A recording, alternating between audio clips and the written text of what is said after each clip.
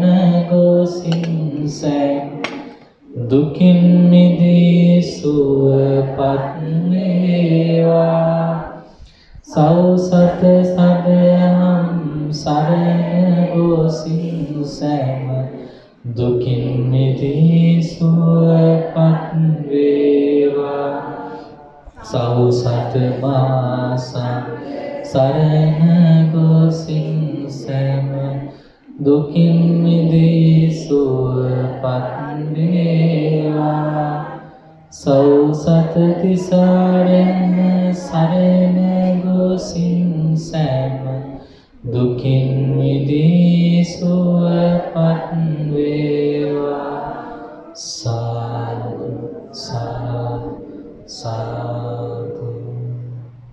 පින්වත්නි උදෑසන අපි ආරම්භ කළා මජ්ක්‍ධිම නිකායේ දන්ත භූමිය කියන සූත්‍ර දේශනාව. ඒ දේශනාවේ අපි ආරම්භයක් වශයෙන් මතක් කළා මේ දේශනාව සිද්ධ වුණේ රජගහනුවර කලන්දක නිවාප නම් වූ වේළුවනාරාමයේ ආශ්‍රිතව තිබෙන අරඤ්‍ය කුටිකාව මුල් කරගෙන. අරඤ්‍ය කුටිය කැලේ තිබෙන කුටියක වැඩ හිටියා. කවුද වැඩ හිටියේ? අචිරවත. අචිරවත කියන ඔද අචිරවත කියන නම අමතක වෙනවා අචිරවතී කියලා ගවක් තියෙනවා නේ. ලේසියෙන් අමතක වෙන්න බෑ. වතී කියන එකේ තී කපලා ත දැම්මම හරි. අචිරවත ස්වාමීන් වහන්සේගේ නම අචිරවත. නමුත් ආමන්ත්‍රණය කළා තියෙන්නේ අග්ගි වෙස්සන. අග්ගි වෙස්සන. ඒ බමුණන්ට කියපු නමක් තමයි මේ අග්ගි වෙස්සන කියන්නේ. ඉතින් මේ දේශනාව එතකොට සම්බන්ධ වෙන්නේ මෙතෙන්ට ඔය පා විහරණය පිණිස පයින් ඇවිදගෙන එනවා බිම්බිසාර රජතුමාගේ පුතෙක් වන ජයසේන කුමාරයා.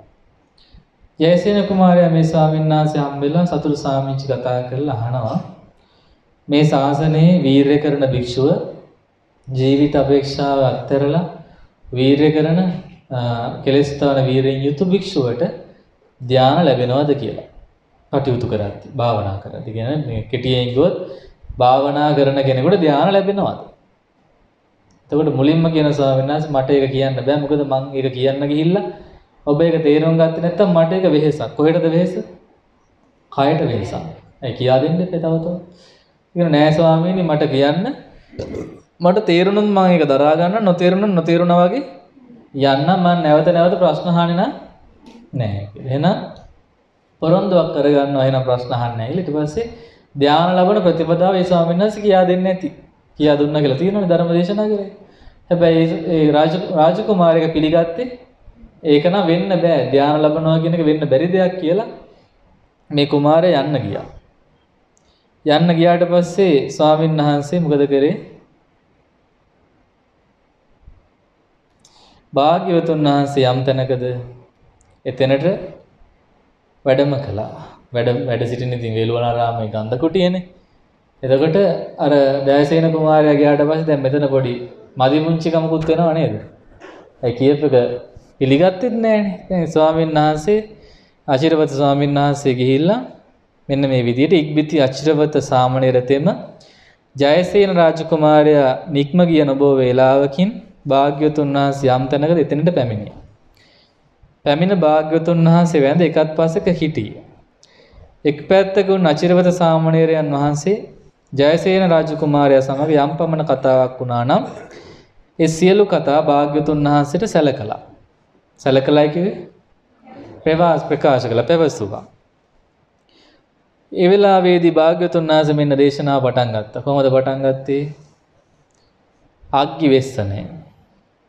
කාමයෙන් වෙන්ව දත යුතු, කාමයෙන් වෙන්ව දැක්ක යුතු, කාමයෙන් වෙන්ව පැමිණිය යුතු, කාමයෙන් වෙන්න ප්‍රත්‍යක්ෂ කටයුතු යම් මේ ධර්මයක් වේ නම් ඒ ධර්මය කොයින් ලැබෙන්නේද?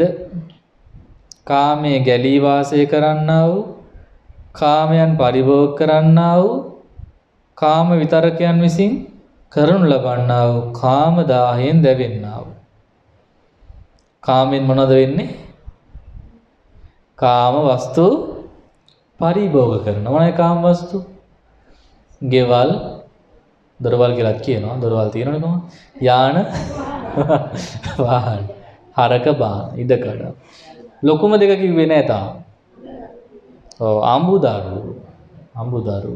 අඹුවට නම් ස්වාමි දරුවෝ ස්වාමි දරුවට එහෙම වචනයක් තියෙනවද? ඔව් ස්වාමි දරුවෝ. එහෙම අපි හදලා ගත්ත එක දැන් අඹුදරුවෝ කියලා අරකට කියනනම් මේකට කියනවා ස්වාමි දරුවයි ස්වාමියයි දරුවෝ දෙපැත්තටම සාධාරණ වෙන්නේ වෙද අපිට විතරක් කියන්නේ නේද? අපි විතරද වස්තු? අනිත් ඒවත් වස්තුම තමයි. ඔව් ඔක්කොම වස්තු. ඇට වුණත් නහර වුණත් ලේ තිබුණත් මස් තිබුණත් මේවත් එක්තරා විදිහකින් වස්තු ටිකක් තමයි මෙතනත් ඉන්නේ මේ වාඩි වෙලා.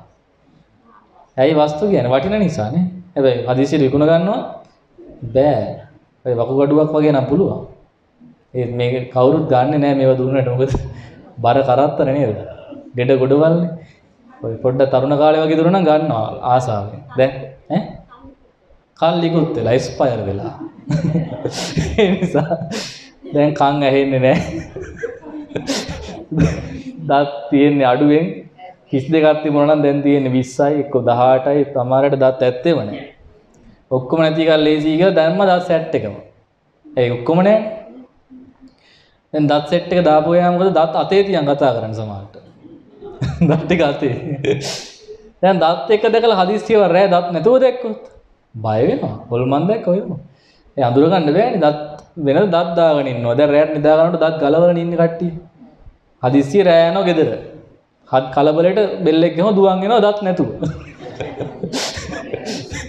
මේ දවල් හිටපු මිනිස්සයා මේ තමාට දත් දත් ටික වීදුරුවේ. වතුර දාලා එම තියෙනව නේද? දැන් එකෙන් පේන්නේ මේ අම්මා කෝයි කල් ඉක්ුත් වෙලා දැන් ඉතින් ගඳ වැඩි වාත යනවා කොයි පැත්තෙනුත් ඉතින් කොස්සට කෑවා වගේ තමයි. ඊට වාත නොගියත් වාත අමාරුව හරි තියෙනන්නේ. එක පැත්තෙන් වල හරි වාතයක් තමයිනේ. වාතයන් ඒ කියන්නේ වයසට ගියාම වාත වෙන්නේ මේ ළමයින්ටත්. ගෙදර තියාගන්නේ නැහනේ. ගෙයින් ගෙට යන්න වෙනවා ඊට පස්සේ. සමහර අය පාරටම වැටෙනවා. දැන් අපි ඉතින් හොඳ නිසා සත්පුරුෂ නිසා වාත වුණත් කමන්නේ වරෙල්ලයි කියලා මෙහෙට ගෙන්නගෙන දැන් බණ කියනවා. නැත්තම් මේ මේ මේ වයසේදී කිසි ඉල්ලුමක් නෑ මේ වරන් ගිහලා මොනව කරන්නද? නේද? දරටවත් දාන්න පුළුවන්. ඒත් බෑ. කිසිම වැඩක් ප්‍රයෝජනයක් නැති එක. හැබැයි මේවට අපි කියන්නේ කොහොමද? ඉස්සර කිව්වේ කොහොමද? දැන් නම් කියන්නේ. ඉස්සර කෝ වස්තු කියලා නේ. රත්තරන් කිව්වා, වස්තු කිව්වා, එක එක නම් කිව්වා. දැන් වටින ඒවා නම් දාන්න ඕනේ. මැණික් කියනවනේ. කියනවද මන් දන්නේ නැහැ. කියනවා එහෙනම්. මේ උපාසකම්මලගේ තහන් එවනේ කියන්නේ. කවුද කියන්නේ මන් දන්නේ නැහැ. ඉතින් ගෙවල් වල එහෙම කියන ඒවා ඒ නිසා අපිට කියන්න පුළුවන් මේවත් එක්තරා විදිහක වස්තු කොටසක් තමයි දීපලක් තමයි. සමහර වස්තුලා ඉන්නවා තියෙන වස්තු තරම් යනවා. දැන් ඇවිල්ලා ටික දවසක් ඉඳලා තියෙන අර ධන දාන්නේ හූරගෙන යනවා නේද? account එකේ සල්ලි ටික Tamanට දාගන්න රත්තරන් වරු ටිකක් ගන්න සමහරට මට ආරංචි වෙනවා. ළමයාගේ පංචාව දීපව කපාගෙන ගිහපු අම්මලා ඉන්නවා. යන එකේ ඕකත් තරම් යනවා කිය. ඒ ඒ වස්තුල ගැන මං ඒ කිව්වේ. එතකොට ඒ නිසා දැන් මේ කාම වස්තුන්ගෙන් පරිදාහයක් නැද්ද? මම මේ අහන්නේ මගින් නෙවෙයි. මං අහන්නේ මේ උපාසක උපාසිකාවන්ගෙන්. උපාසක මහත්තුරු කියන්නේ මේ වස්තුලගෙන් 10ක් නැද්ද? පණ තියෙන වස්තු ගැනත් මං අහනවා පණ නැති වස්තු ගැනත් හරක් එහෙම ඉන්න කෙනාට 10ක් තියෙද නැද්ද? කවුරු ගැනද? හරක හොරුන්ගෙන් හරක් ගැන නේද? කුඹුරු තියෙන කෙනා 1000න් ඉන්නවා වැඩියෙන් වැහලා මේක වතුරේයිද? ඔව් පායලා වේලේද නේ? ඔව්. දැන් නෝනෑ මහත්තයයි දුරින් ඉන්න පවුලක දෙන්නටම 10ක් තියද නැද්ද? ඔව්. එක්කෙනෙක් කොළඹ එක්කෙනෙක් හම්බන්තොට. දැන් 10න් ඉන්න මේ මිනිස්සයා මොනව කරනවද? දන්නේ නැහැ. හොයන්න ක්‍රමයකුත් නෑ CCTV ඔච්චර දුර දාන්නත් බෑ යන යන තැනට දාන්නත් බෑනේ. ඔය කැමරාව ඔලුවට තමයි හයි කරන්නේ. ඒතර යන තැන පේනවා. නේද? 10ක් තියෙද නැද්ද? තියෙන ස්වාමි භාර්යාවන් අතරත් 10ක් තියෙන. ළමයි හැදුවට පස්සේ ළමයි ගැන 10ක් මව්පියන්ට නැද්ද? ওই 14 ලොකුම 10 තමයි නව මව්පියන්ගේ හිතේ තියෙන දැවිල්ල. මොන දැවිල්ලද? දරු දුක. හ්ම් දරු දුක. දැන් දුකට වඩා මුලින් තියෙන බය. නොමග යයිද වරද බැඳෙහිදනේ. දැන් අපි අහලා තියෙනවනේ මව් කුසේ ඉඳන් රැකගත්තු කාන්තාවක් පරිස්සම් කරගන්න බැරි වුණයි කිය. මොකද ජාතකය? අන්ධ භූත ජාතකය. ඉතින් මම වැඩි විස්තර කරන්න යන්නේ නැහැ. ඒවා කියන්න ගියා උපාසකම්මල තරහ වෙනවා මාත් එක්ක. එහෙම වෙන්න ඕනේ නැහැ. ඉතින් ඇත්ත කතාවනේ මව් කුසේ ඉඳලම පරිස්සම් කරලත් මුර කරලත් මේ බමුණට මේ දුව පරිස්සම් කරගන්න බැරි වුණා. ඒ තමන්ගේ මනමාලයත් එක්ක එකතු වෙලා බමුණටම ටොකු වෙන්නා. ටොකු වෙන්නා. අහලා තියෙන්නේ? පස්සේ කියව ගන්න. දැන් දුව සෙල්ලම් කරන්න පටන් ගත්තා මේ බමුණත් එක්ක. තාත්තා කියලානේ යාට කියන්නේ. හැබැයි ඇත්ත තාත්තා නෙවෙයි මෙයා මේ දරුවෙක් ලැබෙන හිටපු කාන්තාව අංග ලක්ෂණ බලලා ඔට්ටුවක් දැම්ම අපේ බෝසතාණන් වහන්සේට මොකද ඔට්ටුව මම ස්ත්‍රියක් හදනවා කෝ වරද බැඳෙන්නේ නැති. ආ නොට්ටුව. අපි අපේ බෝසතාණන් වහන්සේ ප්‍රඥාවන්තයි. උන්වහන්සේ ස්ත්‍රීන්ට ගරිහා කරනවා නිතරම.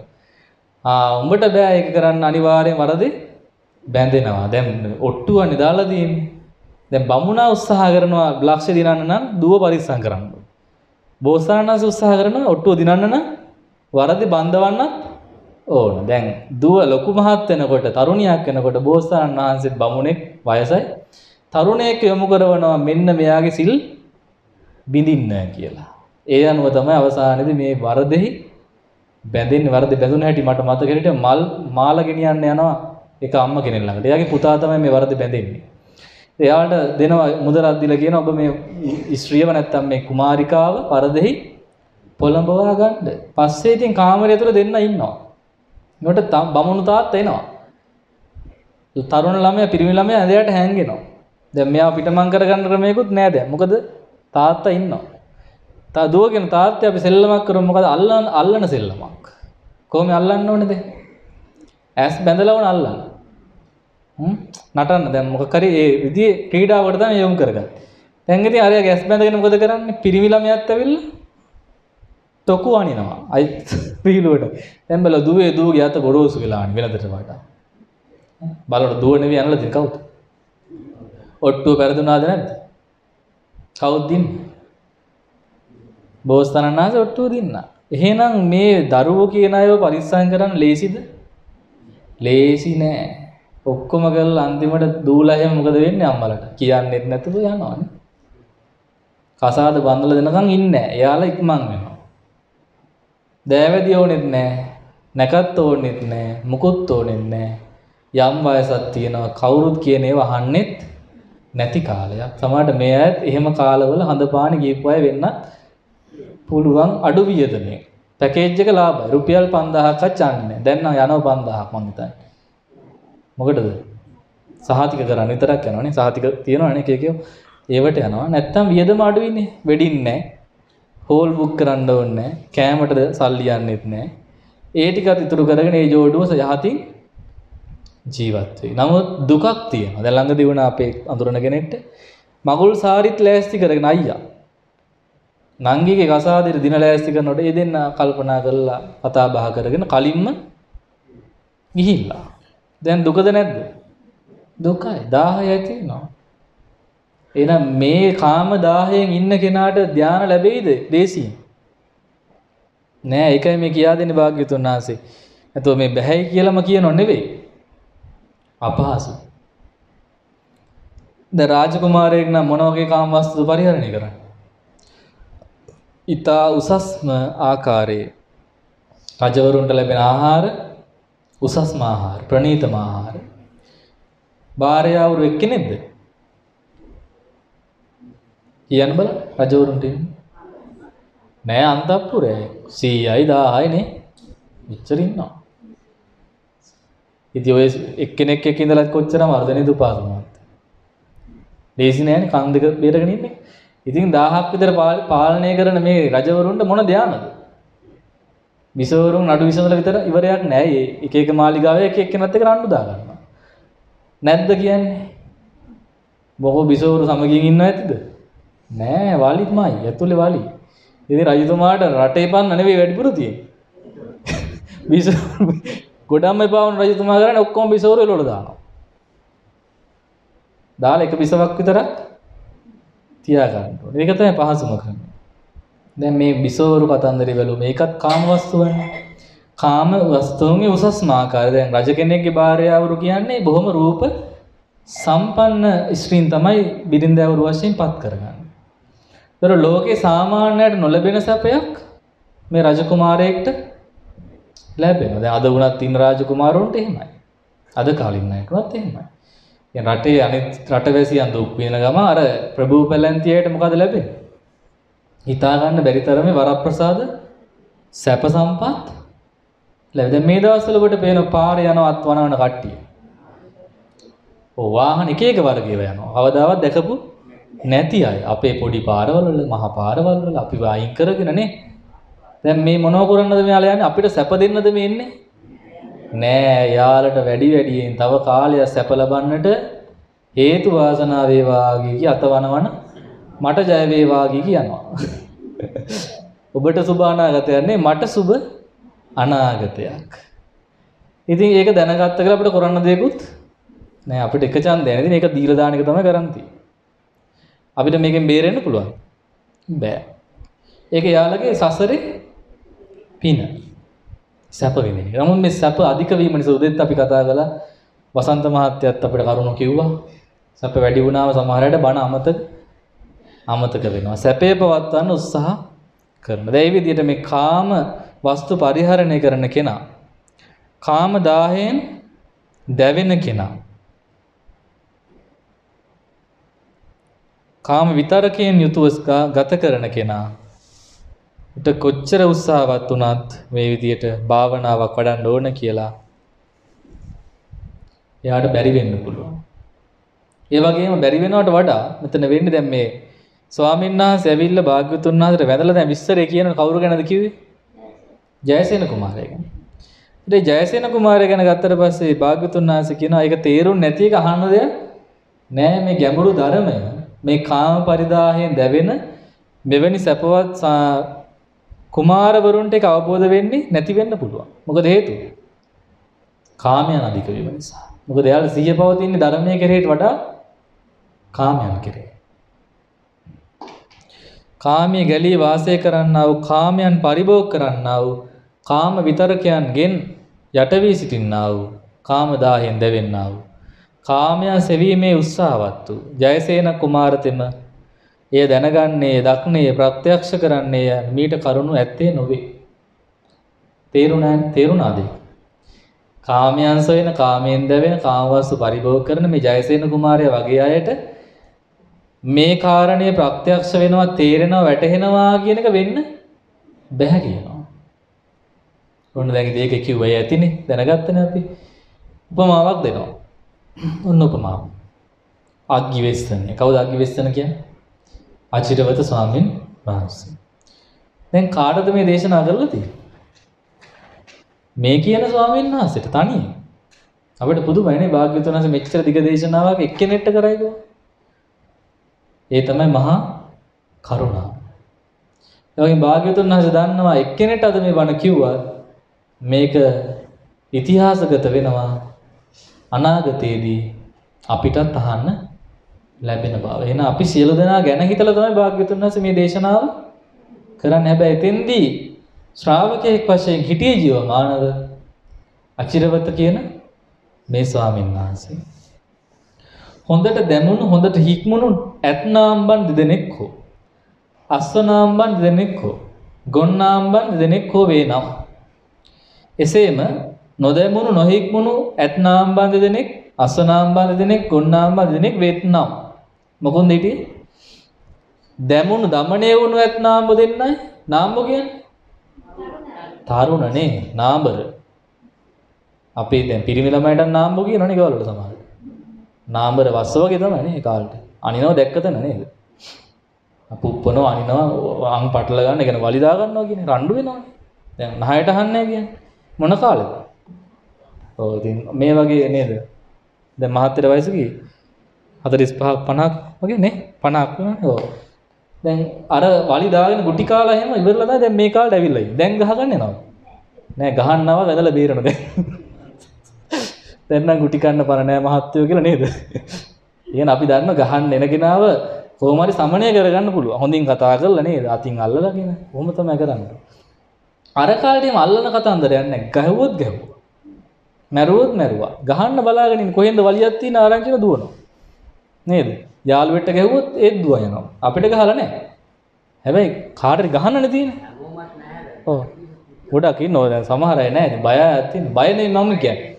නාම්බ නාම්බය ගතිය තමයි මේ කිව්වේ. නාම්බර ගතිය. ඔව්. ඈ? කියන දේ අහන්නේ. ගුටිත් කනවා ඉතින්. ගහන විතරක් නෙවෙයි. ගුටිත් කනවා. දතුත් ගලව ගන්නවා. ඒත් ඇහෙන් පුරුදු වෙනවද මේක පාඩම ඉගෙන ගන්නවද? නැහැ. එහෙනම් හික්මුණු නාම්බ හොඳයි. නොහික්මුණු නාම්බ. දැන් මේ නාම්බකුවේ මේ ළමයින්ට විතරක් නෙමෙයි මේ මෙතන කියන්නේ ඇත් නාම්බත්. ඇයි භාග්‍යතුන් නාම්බන්වම ගත්තේ? තරුණ කාලේ තමයි නොහික්මුණු ගති වැඩි. ඒ කාලේ හික්මෙව්වා නම් අන්න හරි. ගොඩාක් වැරදි සිද්ධ වෙන්නේ මොන කාලේ? තරුණ කාලේ. වැරදි තීරණ ගන්නෙ? තරුණ කාලේ. අර කෝ වගේ වැරදි කසාද වලට පැටලෙන්නේ. ඒ ඉක්මන් තීරණනේ දැක්කා ආසයිතුන සතුටු වුණා ගමන ගියා. පස්සේ තමයි හැරිලා බලන්නේ මේක හරිද?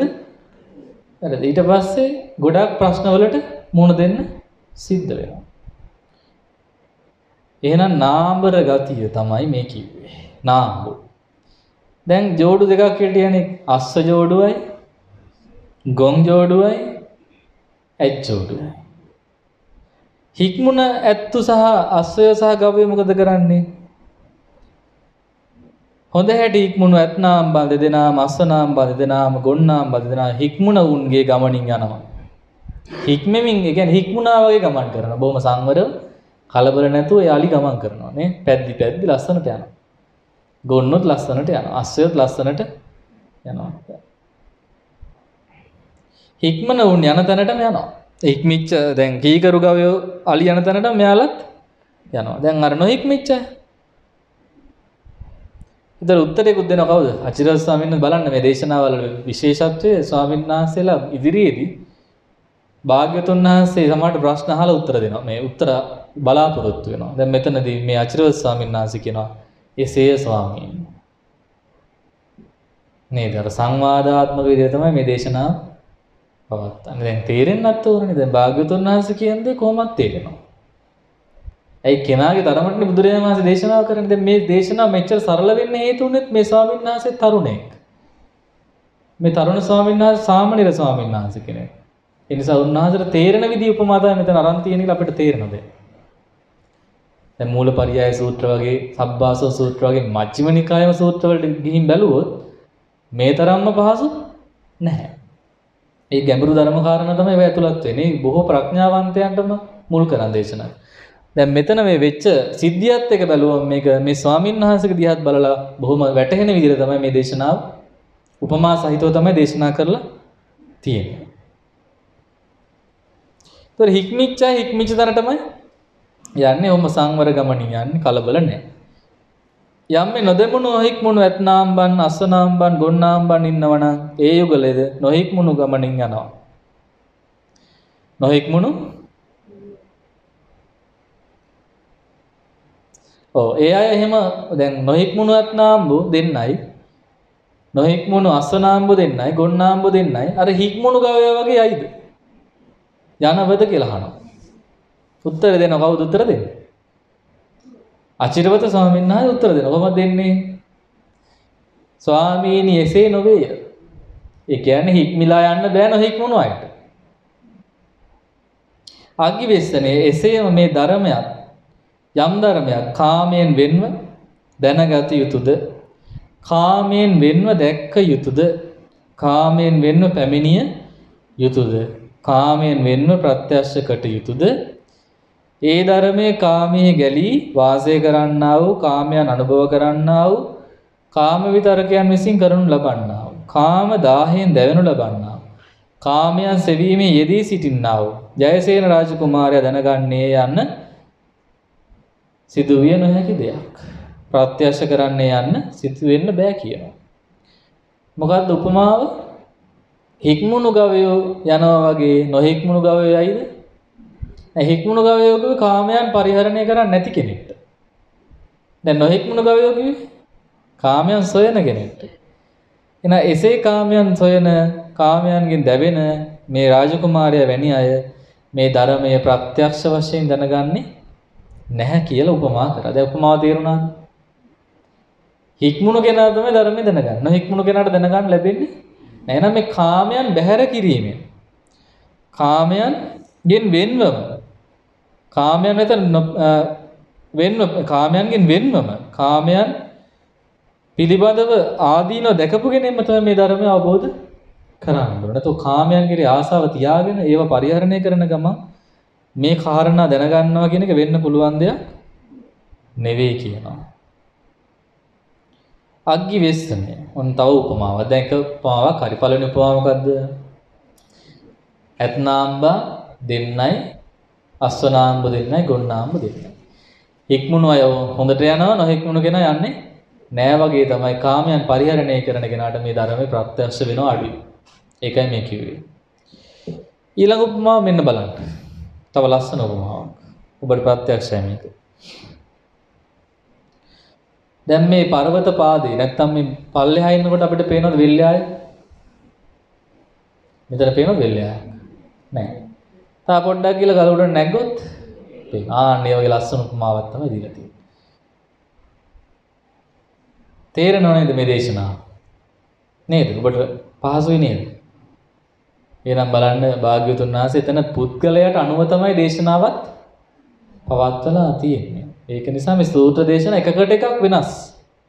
ස්වરૂප වශයෙන් වෙනස්. එකම ධර්ම කාරණා වෙන්න පුළුවන් කියලා දෙන්න. නමුත් දේශනා කරපු ආකාරය වෙනස්. ඒකට හේතුව වේනීය ජනයන්ටයි මේ දේශනාවල් පවත්වලා. මේ දේශනාව කරන වෙලාව හිටපු කෙනා අනුව තමයි භාග්‍යවතුන් වහන්සේ මේවා දේශනා කරලා. එහෙනම් මේ ස්වාමීන් වහන්සේගේ ස්වරූපයෙන් දේශනා කරනවා යම්සේ ගමකට හෝ නියංගමකර නුදුරේ යාසන්නේ මහා පර්වතයක් වේද මොකක් තියෙන ගමේ උදාහරණයට ගන්න මෙන්න මේ පර්වතේ කන්ද. යාළුවෝ දෙන්නෙක් යනවා ගමේ. ඉන්න දෙන්නෙක් අත් දෙක අල්ලගෙන යාළුවෝ දෙන්න යනවා. කොහෙද යන්නේ? පර්වත පාදයට. ඉඳ පර්වතේ පාමුලට යනවා. එක්කෙනෙක් මොකද කරන්නේ? එක යාළුවෙක් පර්වතේ යට තියලා මෙයා නගිනවා ගල උඩට. බොහොම අමාරුවෙන් හරි නගිනවා. නැග්ගම යා කියනවා යාළුවාන මොනවද ඔයාට පේන්නේ? අරයා කියන මොකද්ද කියන්නේ? මට ආරාමයන් පේනවා, වනයන් පේනවා, රමණීය බිම්පෙදෙස් පේන වැව් පොකුණු පේනවනේ. අපිටත් පේනවනේ කුඹුරියාය පේනවා, බදගිරිගල පේනවා, යහංගල පේනවා, මලල කලපුව පේනවා, අහස පේනවා, හිටපු වරාය පේනවා. තව පැත්තකින් ගුවන් තොටුපළ පේනවා. දැන් එහෙම අපි උඩින් ඉඳන් කෝල් එකක් දීලා යාළුවෙක්ට කියනවා යට ඉන්න කෙනාට ඒව පේනවා. යට ඉන්න කෙනාගේ මොන පිස්සුද? ඒව පේනවා. ඒක කොහොමද පේන්නේ? එහෙම පේන්නේ නැහැ මට.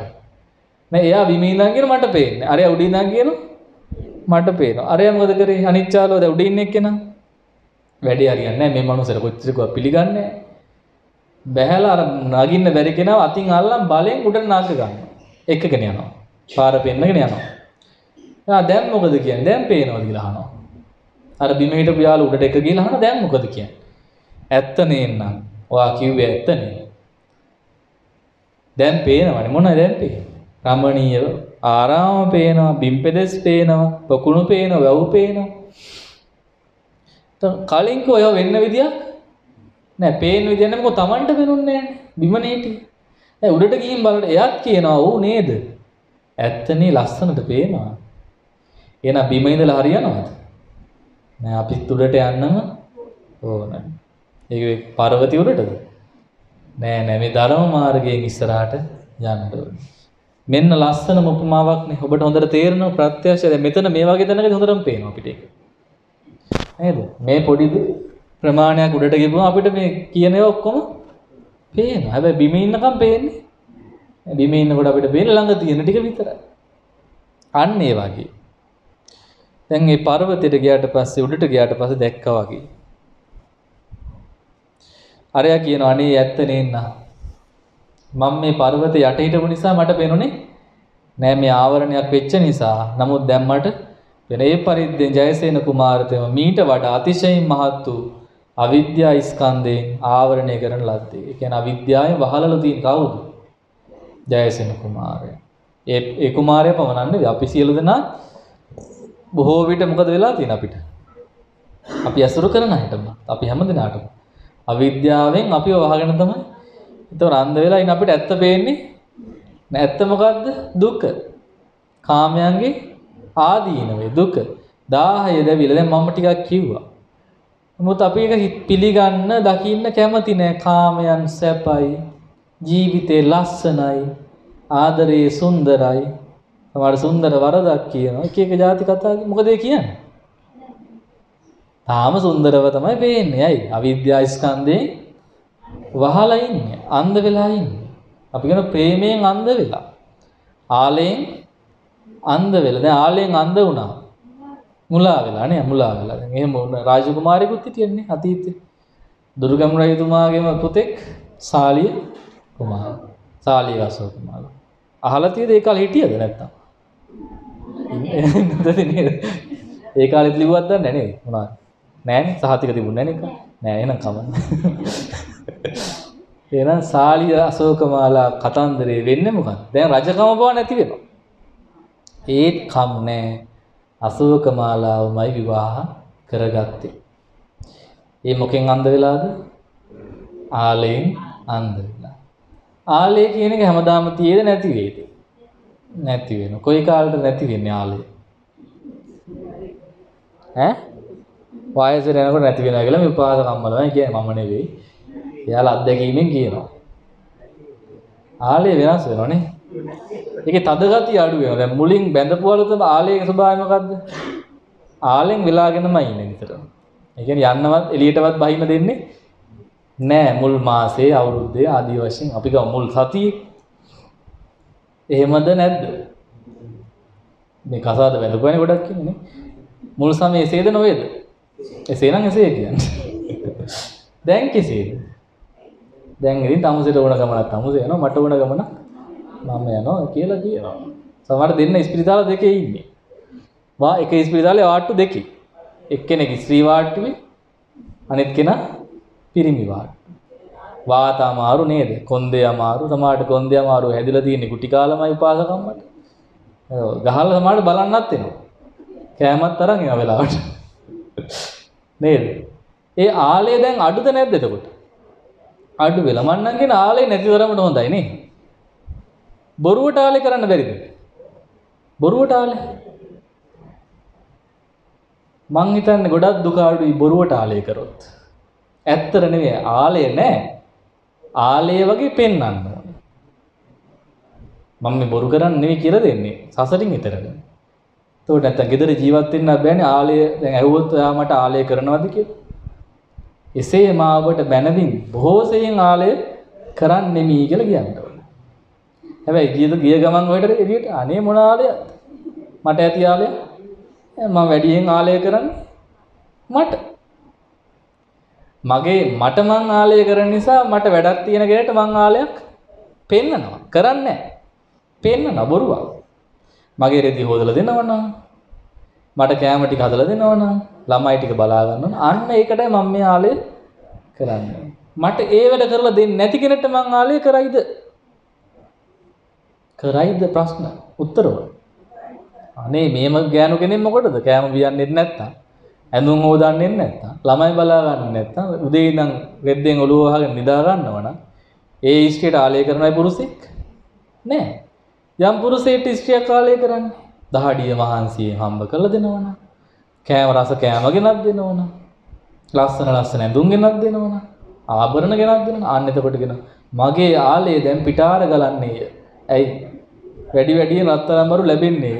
නිසා ඒව නොලැබෙද්දි? අනේ මොන ආලයක්ද මේ මිනිහගෙන් කිසි මෙලෝ වැඩක් නැහැ? ඈ? ඇඳුමක්වත් ගෙනත් දෙන්නේ නැහැ.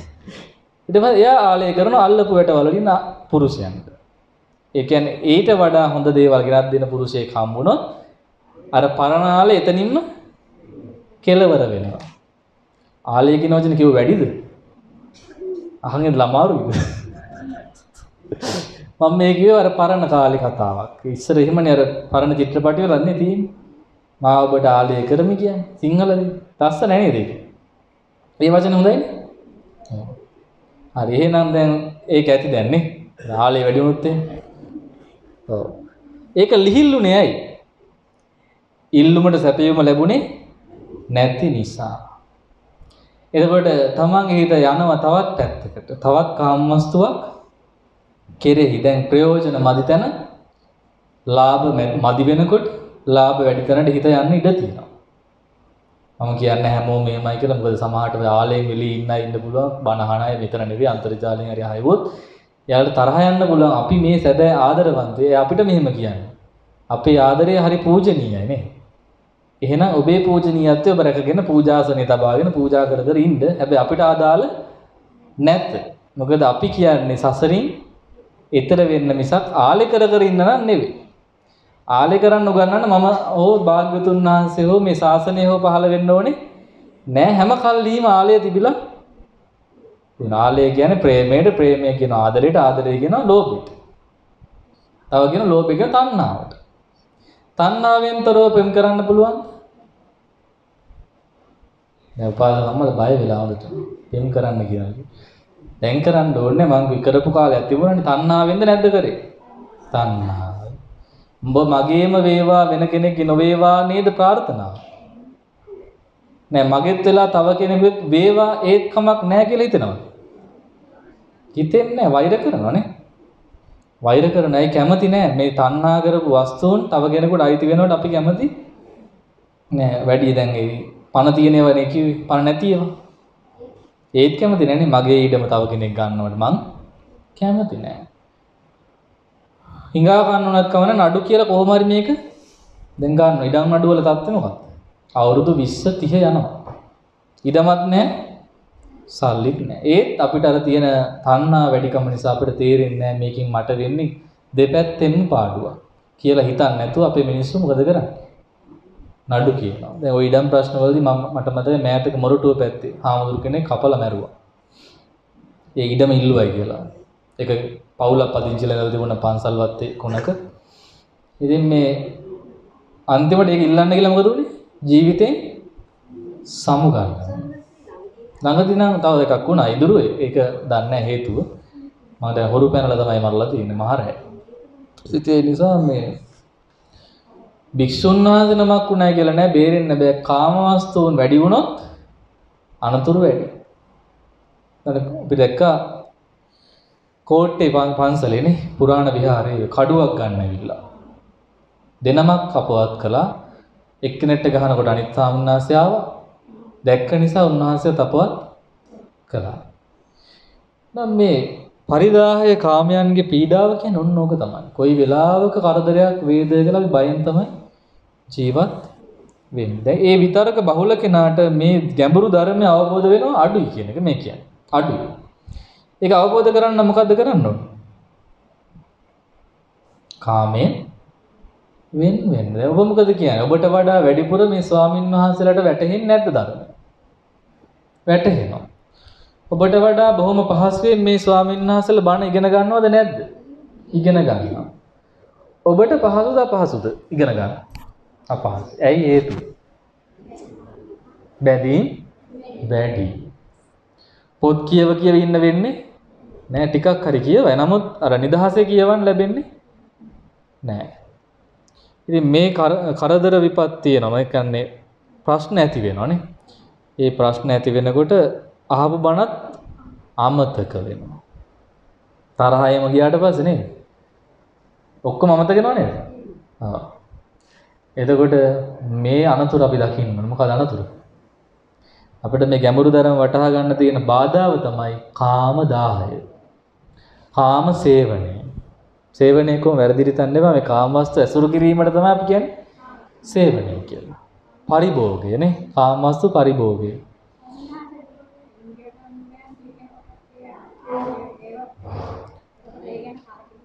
ඇති වෙනවනේ දෙයියනේ. දැන් ඕවා දැන් උපාසක අම්මගේ අපි ගමු මෙහෙම උදාහරණයක්. වෙඩින් ෆොටෝ එක තියෙනවා තාම. ඔව් ඒක ගෙනල්ලා තියලා පොඩ්ඩක් කන්නඩි කාඩ ගිහින් බලන්න එදා වගේද අද කියලා. නේද? දැන් කියනවා මෙන්න මෙම මං සින්දුවක පද ටිකක් කියන ඔබට තේරුම් ගන්න. කොළොම් තොට ඇත මහලු. අවන් හල ඇත කියන්නේ. මම චුට්ටක් කියන ඔබ අනිත් ටික කියන්න. පැරණි. එදා වගේමයි අදත් චව්වනේ. ඒත් අප දෙදෙනා බලන් කැඩපත උපාසිකාවනි මට කියන්න එච්චරයි. එහෙනම් කණ්ණාඩියෙන් ගිහින් බලන්න මොකද උනේ? කොළඹ පරණ වෙලත් නැහැ. නේ අවන්හල වෙනස් වෙලත් නැහැ. කියන්නේ නාකි වෙලා නැහැ. හැබැයි අපි දෙන්න නාකි වෙලා වයසට ගිහිල්ලා දත් ටික අද නැත. කොණ්ඩේ සුදු වී ඇත. දැන් රූපයක් බලපානවද නැද්ද මේ මංකුව වචනට? බලපානද දැන් කසාද බයිනකොට ඕන කෙනෙක් කමන්නේ නැකත් ගැලපෙනවා නම් ඉතින් කරලා දාමු. එහෙම කරන්නේ නැහැ මනමාලි බලන්න යනවනේ ඇඳගෙන හොඳට. ගියා මනමාලි සැරසිලා හොඳට මේකප් කරගෙන බුලත් වට්ටියක්ද මොකක්ද අරන් එනවනේ ඉස්සරහට. ඒ ඒක අරන් එන්නේ මොකටද බුලත්? සෞභාග්‍ය ලස්සන නේ. ඒ කොළ අරන් මොනවාරි කරනවද කොළේට? බුලත් කොළ අනිත් පැත්ත අරන් නැද්ද? නෑ නේ. එතකොට මනමාලිය බලන්නේ බුලත් වට්ටිය දිහාද මනමාලි දිහාද? ආ මනමාලි බලන්න. ඔව් ඊට පස්සේ ටිකක් වෙලා ගියාම දෙන්නට තනියෙන් කතා කරගන්නත් දෙනවනේ. මන් දන්න මට ඒවා මේ ආරක්ෂලා දෙන්න. මොකද අපේ මේ නැන්ද බලන්න එහෙම ආවා. මං ගෙදර ඉන්න කාලේ. ඉතින් ඒක තමයි නේද? අන්තිම තාජුට්ටෙන් හොට පැටලෙනවා කොයි හරි. ඉතින් මේ කතාව වෙන්නේ මොනව ගැනද? ඈ? මට ඇහුන්නේ කාම සම්පත් ගැන. නෑ ඒ දෙන්න කතා කරන්නේ මොනවද කියලා මං අහන්නේ. දන්නේ නෑ.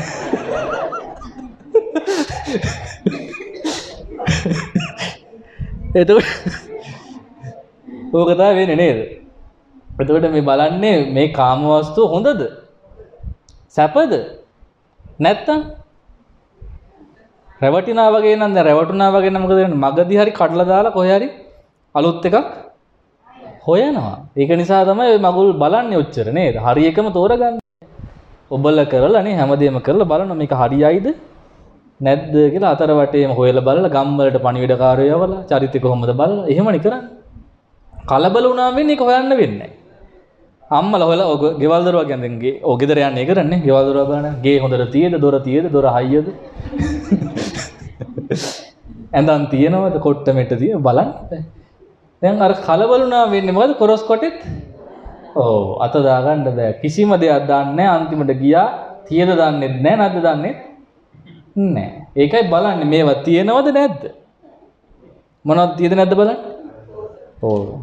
හැමදේම බලන්න ඕනේ. ඉතින් මං කියන්නේ ගෙවල් දොරවල් නේ බලන්න බෑ. තියෙද කිවත් පොහසත්කම් තියෙනවා දැන් වෙන දුවෙක් දෙනකොට දූට ඉන්න ගියා අපේ කෙලට සැපයක් ලැබේවිද? අම්මල බලන්නේ ඒක තමයි.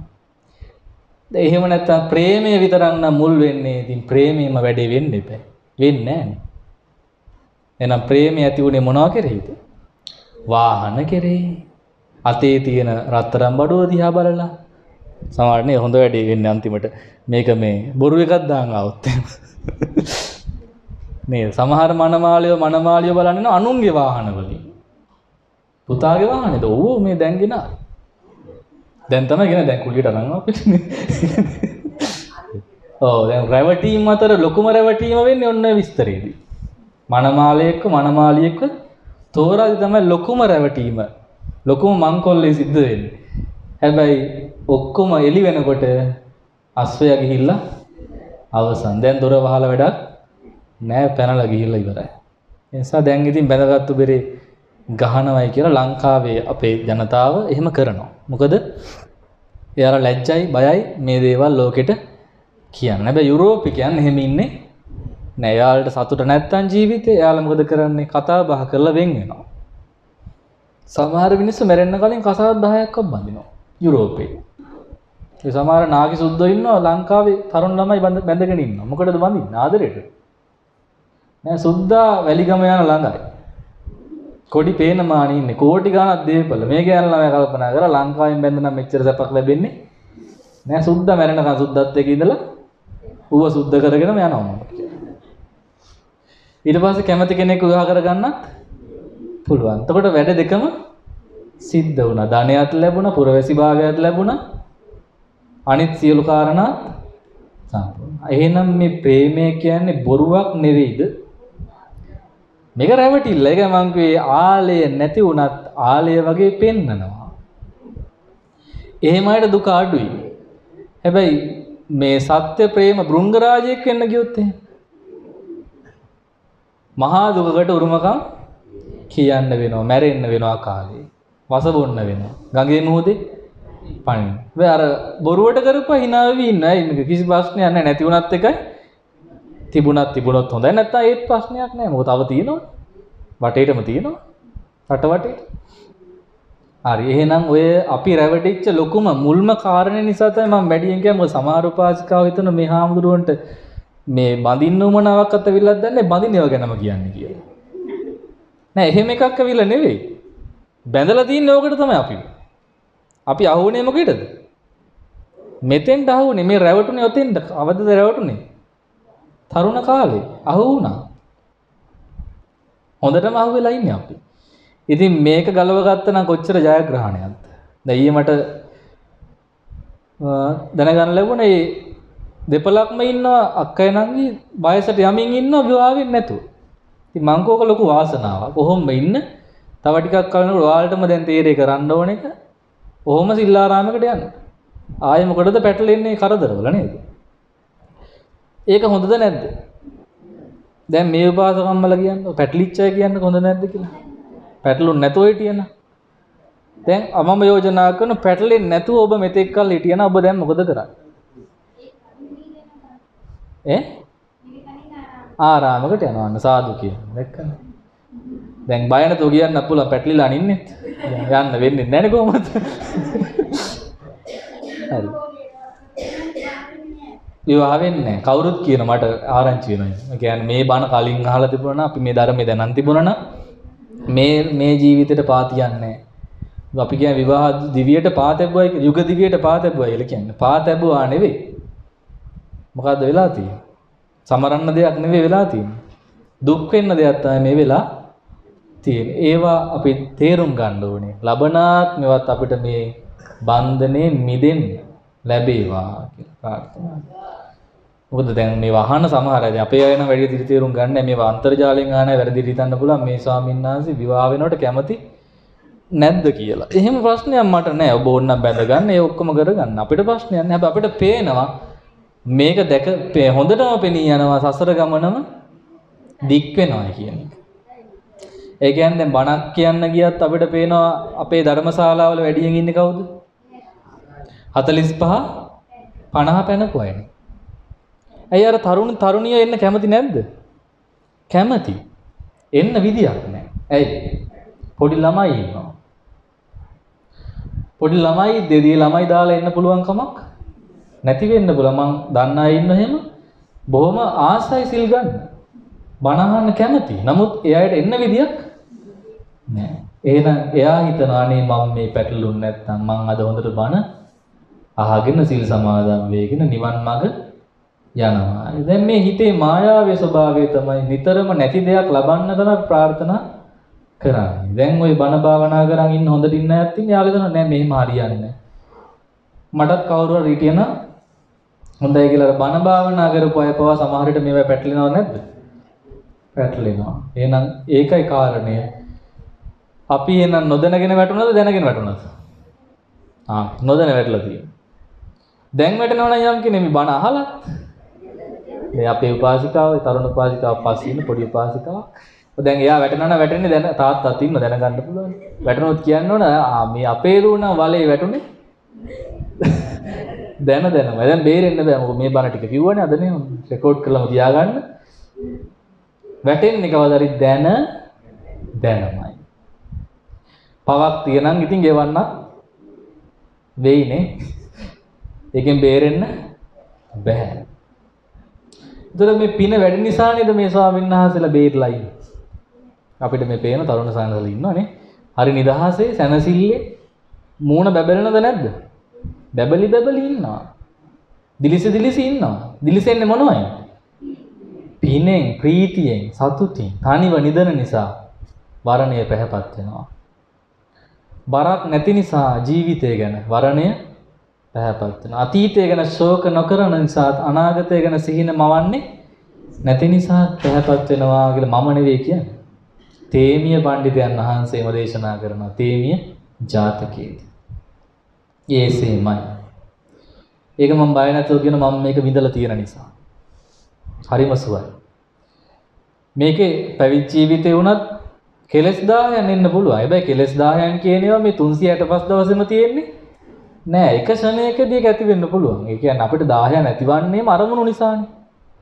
දැන් අපිට කෙලෙස් ඇති වෙන අරමුණක් දැක්කොත් තමයි කෙලෙස් ඇති වෙන්නේ. විශේෂයෙන් අපි රාගය ගැන කියන තරුණ කාලේදී ඒක ඇති වෙන්න පුළුවන්. ඇති වුණත් හැමතිස්සෙම එක තියෙන්නේ අරමුණ බැහැර වෙච්ච වෙලාවේ ඒක අමතක වුණට උනාට පස්සේ සහ ධර්මය මෙනෙහි කරාට පස්සේ මේ 10න් නැති වෙන. ඒ පොඩි වෙලාව තමයි ඉවසන්ති. ඒ පොඩි වෙලාව ඉවසුවේ නැත්තම් තමයි පරදින්නේ. දේශය ඇති වෙන අඩුයි ගොඩක් ස්වාමීන් වහන්සේලාට. ඒ අරමුණු අඩුයිනේ. නමුත් එහෙම ආවත් ඒකත් වැඩි වෙලා පවතින්නේ නැහැ. බැන්නොත් බැන්නක ඒ දෙක කරා එතනින් ඉවරයි. ආයි මේ වෛර පිරිමහන්නේ නැහැ. හැබැයි ගිහි ජීවිතේ මොකද අපේ தත්ත්වය? අපි ඇලුනොත් ඇලුණා ගැටුණොත් ගැටුණ අර ඒ කෙලස් දෙකටම බර වෙන ගතිය වැඩි ජීවිතේ. හොඳයි එහෙනම් මේ ධර්ම වැටහෙන්නේ කාටද කියලා භාග්‍යතුන් වහන්සේ විස්තර කළා කාම පරිදාහයෙන් තොරව. කාමයන්ගෙන් ඉවත්ව වාසය කරන කෙනා තමයි මේ ධර්මය මොනව කරන්නේ? ආ නවබෝධ කරගන්න. දැන් තේරුණාද? එහෙනම් මොකක්ද දැන් කරන්න ඕන අපි? මේ ධර්මය අවබෝධ කරගන්න නම්. දැන් හැමදාම අහන ප්‍රශ්නේ ඔයව ජීවත් වෙන්න ඕන බෑ ඊට වඩා දුර යන්න ඕන ආ නික්මෙන්න ඕන කොහෙටද නික්මෙන්නේ ගිහිගෙන් නික්මෙනවා කොහෙටද ගිහිගෙන් නික්මෙන්න කියන්නේ මම ආරාමයකට යන්න ඕනනේ දැන් ඉතින් මම වැඩි කියන්නේ නැහැ මොකද කියලා කියලා මට මෙපා වෙලා තියෙන එක. මං නික්මෙන්නකොට කවුරු නික්මෙන්නේ? නික්මෙන්නේ නැහැ. මම නික්මිලා ඉන්නවා. අනිත් අය නික්මෙන්නේ සුළුපටු වීරයකින් කරන්න පුළුවන්ද? බෑ. දැන් මේ මෑතක තරුණ ළමයි කවුරුදු 28ක විතර. මම යොමු කළා මේ පැවිදි වෙන්න ඕනේ එකම මම දන්න තැනකට. ඉතින් මේක බලන්න වෙච්ච දේ. ඒ කියන්නේ බොහොම සීරු මාරුවට පරිස්සමට ගෙදරට නොකිය තමයි ගමන ගියෙත්. හැබැයි යාගේ මාරයා ළඟම හිටියා. කවුද මාරයා? දුරකතන මාරයා.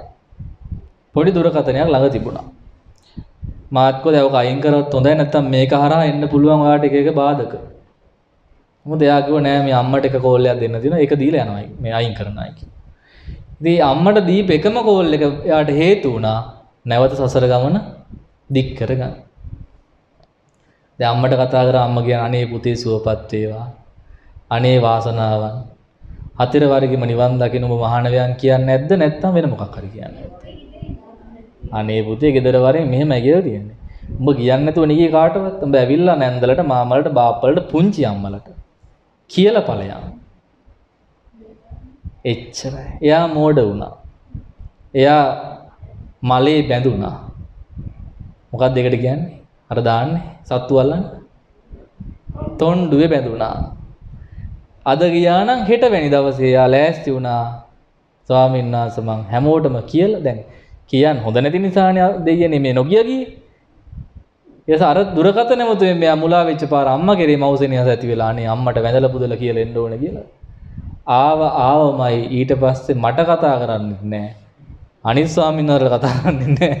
මුහුණ දෙන්න බෑ. දැන් සිල් ගන්න එකක් නැති වුණා එතනින් පස්සේ. දැන් සිල් ගන්න එන්න ලැජ්ජයිනේ වෙච්ච වැඩේට. තාම හැඳුනුම්පත එන්නේ ගිහිපු තැන. ඒකවත් අරන් ගියේ නෑ. ඒකත් දාලා ගියේ කාටද? පුංචි අම්මලට බාප්පලට නැන්දලට නංගිලට අක්කලට සමුදීලා එන්න. මෙන්න මේ පැවිදි වෙනවා කියන එක කේක් කපලා කිරිබත් කාලා යන්න පුළුවන් ගමනක් නෙමෙයි. ඒක මම අත්දැකීමෙන් දන්න දෙයක්. මම නම් එහෙම කළේ නෑ. මට හිතුනේ යම් දවසකද මං එදාම මගේ තීරණය ගත්තා මං ඒ ගමන ගියා. ආයේ මේ කල්ලෙලි බල බල වෙලාවල් බල බල නැකත් බල බල හිටියේ නෑ හොඳම නැකත උදා වුණා මෙහෙමයි දේකටත් වීරිය තියෙනවනේ සසර සසරේ පුරුදු වෙලා ඉන්නවනේ ගිහිල්ලා නේද අපේ බෝසතාණන් වහන්සේ එකපාරටම රාහුල කුමාරයා දාලා ගියේ කොහොමද? වඩා ගත්තේවත් නැතුව ගියා කිව්වම. පුතා තමන්ගේ ලේන්න උපන් දරුවෙක්ව. කොහොමද ගියේ? සසරේදී දහස්වර ආත්ම ලක්ෂවර දරුවන්ව දන් දුන්නානේ. දැන් අපි දන්න එකම කතාව තියෙන්නේ වෙස්සන්තර ජාතකේ. ඒ දන් දීමේ පුරුද්ද නිසා තමයි එකපාරට අතහැරලා ගියේ. එහෙනම් අපිත් කඩාගෙන බිඳගෙන ගිහින් තියෙන්නේ නැති සසරේදී. නැත්තම් ඒ හුරුතල්ලේ ඉන්න එපා අම්මලා අල්ලගෙන තාත්තලා අල්ලගෙන දැන් අදටවත් මට පුදුමයි මං ගැනම මට එහෙම හිතෙන්නේ නෑනේ මේ අය ගැන. කිසි කෙනෙක් ගැන. ලොකු බැඳීමක් ඇති වෙන්නේ ඕන වෙලාවක මේ ඕන කෙනෙක්ව අතහැරලා දාලා යන්න පුළුවන්. ඉතින් ඒක වාසනාවක්නේ. නේද? ඒක මං කිව්වා ආලේ නැතුව ආලේ කරනවා වගේ ඉන්න කියලා. නේද? ආරන්නේ වුණත් මේ උපාසක උපාසිකා වුණත් දාලා යන්න අමාරුවක් නෑ. මොකද හිටව ගම යන්න ඕන. මොකද ඒ යන්න හේතුව Tamanට හයිය තියෙනවා මේ බැඳීම් කඩාගෙන යන්න. යුද්ධෙට යන සෙබළු වගේ වෙන්න ඕන මේ නිවන් මග යනගෙන. නැත්තම් ඉතින් අඬා දුඩා වැළපීගෙන නම් මේ කියන්න විදියක් නෑ. ඔය යුද්ධෙට ගිහපුවාට මේක ලේසි ටිකක්. හැබැයි මෙන්න හමුදාවට හිටියත් යුද්ධෙට ගියේ නැත්තම් බෑ. යුද්ධෙට ගිහපු මොකද ළඟදී ආව යුද්ධෙට නොගියපු සෙබලෙක්. එයා පැනලා ගියේ. මෙහෙට ආවෙත් පැනලාමයි. මෙහෙන් ගියෙත් පැනලාමයි. ඒ කියන්නේ මේ ලොකු හයිය හිතක් නැත්තම් මේ වැඩේ කරන්න බෑ. එහෙනම් කාමයන් අතහරින්න සුළුපටු වීරයකින් බෑ. වමනේ දාපු ආයේ කන්න හිතෙන්න පුළුවන්. දැන් වමනේ දානවා වගේ වැඩන්නේ අපි කරන්නේ මේ වත්තරින එකෙන්. ආයි ආව කියන්නේ වමාරපුව ආයි ගිල්ලා වෙනවා නේද? ඒ මොකද හීන වීරය. ඔක්කොම ප්‍රශ්න තියෙන්නේ කොහෙද? කිතේ අපි තමයි ප්‍රශ්න මවාගත්තේ. නැත්තම් සමහර ප්‍රශ්න ඇත්තෙම නැහැ. ඇත්තෙම නැති ප්‍රශ්න අපි මොකද කරන්නේ? හිතින් අපි මවන මෙතන ප්‍රශ්නයක් මෙතන බෑ මට ඉන්න බෑ අමාරුයි මේක දුකයි. දුකම වාගත්තෙත් කවුද? අපිමයි හිතින්මයි. අපිට ලෝකය වෙනස් කරන්න පුළුවන්ද? බෑ. ඉර පායනය නවත්තන්න පුළුවන්. බෑ. වහින එක බෑ. මොකද කරන්න ඕන අවුවට? ඉර වහනවද අපි වැහෙනවද? අපිට වරදින්නේ ගොඩක් වෙලාට ඔන්න ඔතෙන්දී. අපි යනවා ඉර වහන. පොල් අතු අරන් බඳින ඉරට මේ ආවරණ බඳින්න බෑ. ජීවිත කාලෙන් බැන්දත් වහන්න බෑ. ලෝකෙන් වැහෙන්න මේ ආවරණ කරන්න බෑ. අපි කරන්න ඕනේ මොකද්ද? අපි බේරෙන්න ඕන. අපේ හිත අපි හදා ගන්න ඕන. අවුව තියෙනවා නම් කුඩයක් දා ගන්න. වස්ස වහිනවනම් කුඩයක් පාවිච්චි කරන්න ඕන. අනිත් අය ඔක්කොම දෙමින් නැති වේවා කියලා අපිට මේ ප්‍රාර්ථනා කරලා මේක කරන්න පුළුවන්කම එහෙනම් මුලින් තමන් හිත හදා ගන්න ඕන. ආරක්ෂා වෙන්න ඕන. එම් පුළුවන් වුණොත් තව එක්කෙනෙක් විතර වගේ නම් දාගන්න පුළුවන් කුඩිය ඇතුළට. මොකද දෙතුන් දෙනෙක් දාගන්න කිව්වොත් අපි තෙමෙනවා. නැද්ද? කුඩේ ලොකු නම් දෙන්නෙක් විතර දාන්න පුළුවන් තව. පොඩි කුඩයක් නම් එක්කෙනෙක්වත් බෑ නේද? හරි හරි. එහෙනම් වැස්සේ දැන් ගිහිපුව මතක් වෙන්න පටන් ගන්න ওই පාර. ඒක කියනකොට. ඒක නිසා ඒවා වැඩි කියන්න ඕනේ. මං කියන්නේ මොකද මේ වෙන ලෝකය වෙනස් කරන්න අපිට බෑ. අපි තමයි අපේ හිත වෙනස් කරගන්න. හදා ගන්න ඕනේ. ඒ වෙනස් වෙන ලෝක වෙනස් වෙනවා. අපි ධර්ම මනස්කාරය දෙනකොට අරක දුකක් බවට පත් වෙන්නේ නැහැ. හොඳයි. සාදු කියන්නේ. දැන් ඔය සාදු කිය දැන් තේ එක ළඟ ළඟම එන බව දැනෙන නිසා. දැන් ඒ කාරණේ භාග්‍යතුන් වහන්සේ විස්තර කරලා දුන්නා. හරියට මොන වගේද? මොකද්ද කාරණේ? කන්දක් උඩට ගියාම පේනවා. බිම ඉන්න කෙනාට ඒවා පේන්නේ නෑ වගේ. මේ අවිද්‍යා ස්කන්ධයෙන් වැහිච්ච මේ රාජකුමාරයාට මේවා අවබෝධ වෙන්නේ නැහැ කියලා. එහෙනම් කාමයන්ගේ මේ හැසිරීම පරිහරණය තමයි මෙතනදී ප්‍රශ්නේ. අග්ගිවෙස්සන ඉදින් ඒ රාජ ජයසේන රාජකුමාරයට මේ උපමා දෙක ප්‍රකාශ කළේ නම් අන්න බලන්නේ. බුදුරජාණන් වහන්සේ දේශනා කරනවා අග්ගිවෙස්සන ඔබ මේ උපමා දෙක රාජකුමාරයට ප්‍රකාශ කළා නම් ජයසේන රාජකුමාරයා ඔබට පැහැදෙනවා. එහෙනම් දැන් පැහැදිලාද ගිහින් තියෙන්නේ? නෑ පැහැදිලා නෑනේ. එකනික වෙන්න බෑ කියලා. පැහැදුනේ නුඹට පැහැදුණු ආකාරය දක්වන්න යන පුදුමයක් නොවේ මේ දෙක ඔබ කිව්වනම් ඉතින් බුදුරජාණන් වහන්සේගේ ඥානෙ නෑනේ ස්වාමීන් වහන්සේට ඒකනේ ප්‍රශ්නේ. මොකද කියන භාග්‍යවතුන් වහන්සේට හමු වුණා නම් පැහැදෙනවා. නමුත් ශ්‍රාවකයට හම්බුනේ ඒ ශ්‍රාවකයන් වහන්සේත් මාර්ගඵලලාභීෙක් නොවෙන්න පුළුවන්. දන්නේ නැහැ හරියටම. නොවෙන්නේ නැති නේ. වැටහීමක් නොතිබුණේ ඒකනේ මේ උපමාව ගැන. නමුත් භාග්‍යවතුන් වහන්සේට හරියටම අවශ්‍ය තැනට අවශ්‍ය දේ ගැලපෙනවා. ඊතලයෙන් විද්ද වගේ. හරියට විදිනවා. එහෙනම් කියන ඔබ මේ උපමා දෙක කිව්වනම් ජයසේන රාජකුමාරයාට ඔහු ඔබ කෙරෙහි පැහැදෙනවා. එහෙනම් පිළිගන්න නැතු යන්නේ නෑ. ස්වාමීනි භාග්‍යතුන් වහන්සේ ගැන මෙන්ම මා ගැන පුදුමයක් නැත්තා වූ පෙර නොඇසූ මේ උපමා ජයසේන කුමාරයාට කෙසේනම් වැටහෙන්නාවුද? මොකක්ද ඒ කිව්වේ?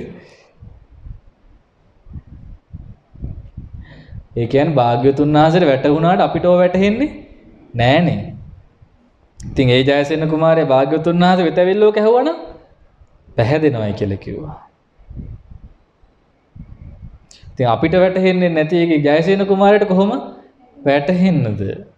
අග්ගිවෙස්සන යම්සේ ඔටුනු පෙරදි ශාස්ත්‍රීය රජෙක් ඇතුන් দমনය කරන කෙනෙකු ගෙනලා කියනවා නාගවණිකේ මෙහියව රජුගේ ඇතු පිට නැගී ඇතුන් නැති වනයේට යව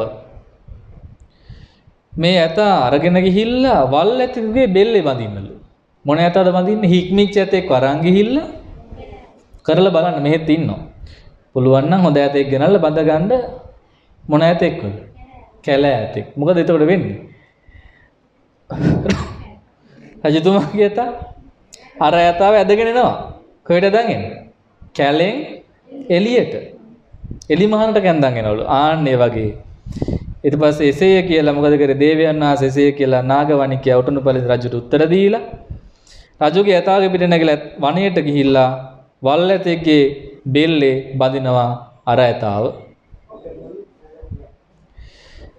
වල්ල ඒ රජුගේ ඇතා ඒ වල් ඇත එලිමහනට ගෙන යයි. අග්ගි වෙස්සනේ මෙපමණකින්ම වල් ඇත එලිමහනට පැමිණියේ වෙයි. අග්ගි වෙස්සන එවිට ඒ වල් ඇතා ඒ කැලේ ඇලුනේ වෙයි. එහෙනම් බලන්න කැලේ ඇල්ල හිටව මේ ඇතාව කොහෙටද ගෙනාවේ? ගමට ගෙන. හැබැයි තාම ඇලීම නැති වෙලා නැහැ බලෙන් ගෙන. ඊට පස්සේ කියනවා මේ වල්ලතාවට පුරුදු කරන්නලු මොකද්ද? හොඳ වචන. හොඳින් කතා කරන්න. ඉස්සෙල්ලා සද්ද පුරුදු කරන්න ඕන නිසා මේ හොඳ මිහිරි වචන වලින් ඇතා ළඟට ගිහිල්ලා කතා කරන. හික්මවන එක ක්‍රමයක් තමයි ඒක. ඊළඟට කියන මේ ඇතාට පුරුදු කරන්නලු මහත් කණුවක බැඳලා පොළවේ සිටවල ඇතා බැඳලා වල්ගතිය ස්වභාවය නැති කරන්න ඔහුට ප්‍රිය වචනෙන් අමතන්න. කොතර ඇමතු අය විදියට. දෙවනියට කියනවා මේ වල් ඇතු ඇතුන් නික්මවන්නා විසින් ප්‍රිය වූ කනට සැප වූ ප්‍රේමණීය වූ හදවත පිනවන්නා වූ පුරවැසියන් සුදුසු බොහෝ දෙනා කැමති වූ ප්‍රියමනාප වචන ඇද්ද ඒ වචන වලින් කතා කරන්න පටන් ගත්තට පස්සේ මේ අතා මොකද වෙන්නේ? හික්මෙන්න පටන් ගන්න. ඊළඟට කෑ යුතු තනහා දිය නැවත නැවත දෙයි. අග්ගි වෙස්සන යම්මයකින් වල් ඇතුන් දමනය කරන්නගේ තනහාදිය පිළිගනීද. එහිදී ඇතුන් දමනය කරන්නට මෙතේ සිතෙනවා. රජුගේ හස්සිරාජා දැන් ජීවත් වන්නේ. ඇතුන් දමනය කරන්න මොකද ජීවත් වන්නේයකවි වල් ඇතා දමනය වුණයි කියන්නේ මෙයත් ඉතින් ආයි කැලේට අදගෙන යන්න පුළුවන්කමක් නැති වෙනවානේ. දැන් නගරයම් මෙයා නවතිනවා. එතකොට වැඩේ හරිද නැතද? ඇයි දීපු කෑම කනවා කියන්නේ හරිද? දමණය වෙලා ටිකක්. තාම හරිද දමණය? දැන් දන්ත භූමිය හොඳේ මාත්‍රිකාව. দমনය ගැන කියන්නේ. තාම සම්පූර්ණ වශයෙන්ම দমনය වුණේ නෑ. ඊට පස්සේ කියනවා ආයෙ ඉදිරියට යවන්න ආපස්සට ගෙන්නන්න ඇතා. ඇතා රණ කරන ඉදිරියට යන්න. කිව්වම ඇතා යනවා. ආපස්සට එන්න ගොම ආයෙමත් එනවා. ඉතින් එහෙමත් කළා. ඊළඟට දෙයක් උස්සන්න බිමින් තියන පුරුදු කරන හොඩ වැලෙන්. කරයිද නැද්ද? පුරුදු කරනවා. කරනවා. ඊළඟට ඇතාව නැගිටවන වාඩි කරනවා. එම්බාහස්තිය නැගිටිව එම්බාස්තිය හිඳුව. ඇතා වාඩි වෙන්න කියන ඇතාට තොර එයා වාඩි වෙනවා. ඇතාට නැගිටින්න ගොම එයා නැගිටිනවා. දැන් මේම ඉක්මවගෙන යනවා. මෙසේ දමනය කරගෙන එනකොට නොසෙල්ලී සිටීමට පුරුදු කරනවා. දැන් පියවරෙන් පියවර ඔබට මතකද දන්නේ නැහැ දමනය කරපු හැටි. මුලින් බැඳගෙන එලිමහනට ගෙනාවා. කණුවක බැන්දා. කන්න බොන්න පස්සේ දුන්නා. ඒ හොඳ වචනෙන් කතා කරන්න පුරුදු කරා. ඊට පස්සේ දමණය වුණාම කන්න දුන්නා. වතුර දුන්නා. ඊට පස්සේ ඉස්සරහට පස්සට යන්න පුරුදු කරා. වාඩි වෙන නැගිටින්න පුරුදු කරා. උස්සන්න විම තියන්න පුරුදු කරා. දැන් පුරුදු කරනවා නොසෙල්වි සිටින්න. ඇතාට පුරුදු කරා නොසෙල්වි සිටින්න. ඊළඟට ඇතුන්ගේ පාවලට අනින කටුව ගත්ත ඇති අත්පුරුෂය ගැන මොකද්ද කියන්නේ අපි? හෙන්ඩුව. හෙන්ඩුව අතේ තියාගත්තු තෝමර ගත් ඇති පුරුෂයෝ හාත්පස පිරිවරා සිටිය. ඇතුන් දමනය කරන්න දික් වූ තෝමර යෂ්ටියගෙන ඉදිරියේ සිටියේය. එතිම නොසෙල්ලන හික්මීම හික්මුණු ලබන්නේ පෙරපා නොසොල්වයි. පසුපා නොසොල්වයි. කය ඉදිරිපස පසුපස නොසොල්වයි. හිස නොසොල්වයි. කන් නොසොල්වයි. දල නොසොල්ල නගුඩ නොසොල්වයි. සොඳ නොසොල්වයි. ඒ ඇතාගේ රජුගේ ඇතා අඩයටි පහර ඉවසන්නේ වේ. කඩු පහර ඉවසන්නේ වේ. ඊ පහර ඉවසන්න සතුරන්ගේ අවිපහර ඉවසන්න ඉවසන්නේ වේ. බර බෙර පනාබෙර වස්දණ්ඩු සක් ආදී ශබ්ද ඉවසන්නේ. දැන් මොකටද මේ පුරු කරලා තියෙන්නේ? යුද්ධෙට යන්න. යුද්ධෙට ගියාම ඊදල කඩු පාරවල දෙනකොට මෙයා කලබල වුණොත් එහෙම තමන්ගේම සේනාව යට කරන් දුවනවා. ආන්න ඒ නිසා වට කරලා හෙන්ඩුව තියාගෙන ආයුධ තියාගෙන මෙයාව හික්මවන නොසෙල්වි ඉන්න. කන් දෙකවත් හොලවන්නේ වලිගියවත් හොලවන්නේ. එතකොට එයා යුද්ධයට සුදුසු ඇතේ බවට පස් වෙනවා. වංක දෝෂ ආදී සියල්ල නැති කරනවා. තාන්න ඒ වගේම භාග්‍යවත් අරියා සම්මා සම්බුදුරජාණන් වහන්සේ ලොව පහළ වෙනවා. පහළ වුණාට පස්සේ මොකද කරන්නේ? බුදුරජාණන් වහන්සේ ලෝකයාට ධර්මය දේශනා කරන. ඒ ධර්මය අහන්නා වූ සදැහැති කුල පුත්‍රයෝ මේ ගිහි ජීවිතයේ සම්බාධා බහුලයි. නිවන් මඟ පූර්ණය කරන්න අමාරුයි කියලා හිතලා මේ තරුණයා මොකද කරන්නේ? මහාන වෙනවා. ආන්නේ ශාසනය වෙත පැමිණීම හරියට මොන වගේද? වල් ඇතා එලි මහානට ගෙනාවා. එහෙනම් හරියටම කිව්වොත් මේ තරුණයා නැත්තම් මේ ගිහි කෙනා ඉන්නේ කොහෙද? කැලේ. කැලේ කියන්නේ මොකද්ද? කාම භූමියට. ඒතර මේ කාම භූමිය කියන්නේ තනිකරම කැලයක්. කැලෙන් එළියට ඇදන් ආවා කියන්නේ භාග්‍යවතුන් වහන්සේ කෙරේ පැහැදිලා ශාසනේ පැවිදි වුණා වගේ. දැන් එළියට ආව පළියට ඔක්කොම ඉක්මිලාද? වැඩේ හරිද තාම? මේ ස්වාමීන් වහන්සේට පැවිදි වෙච්ච කෙනාට අපි කියමු ස්වාමීන් වහන්සේ කියලා.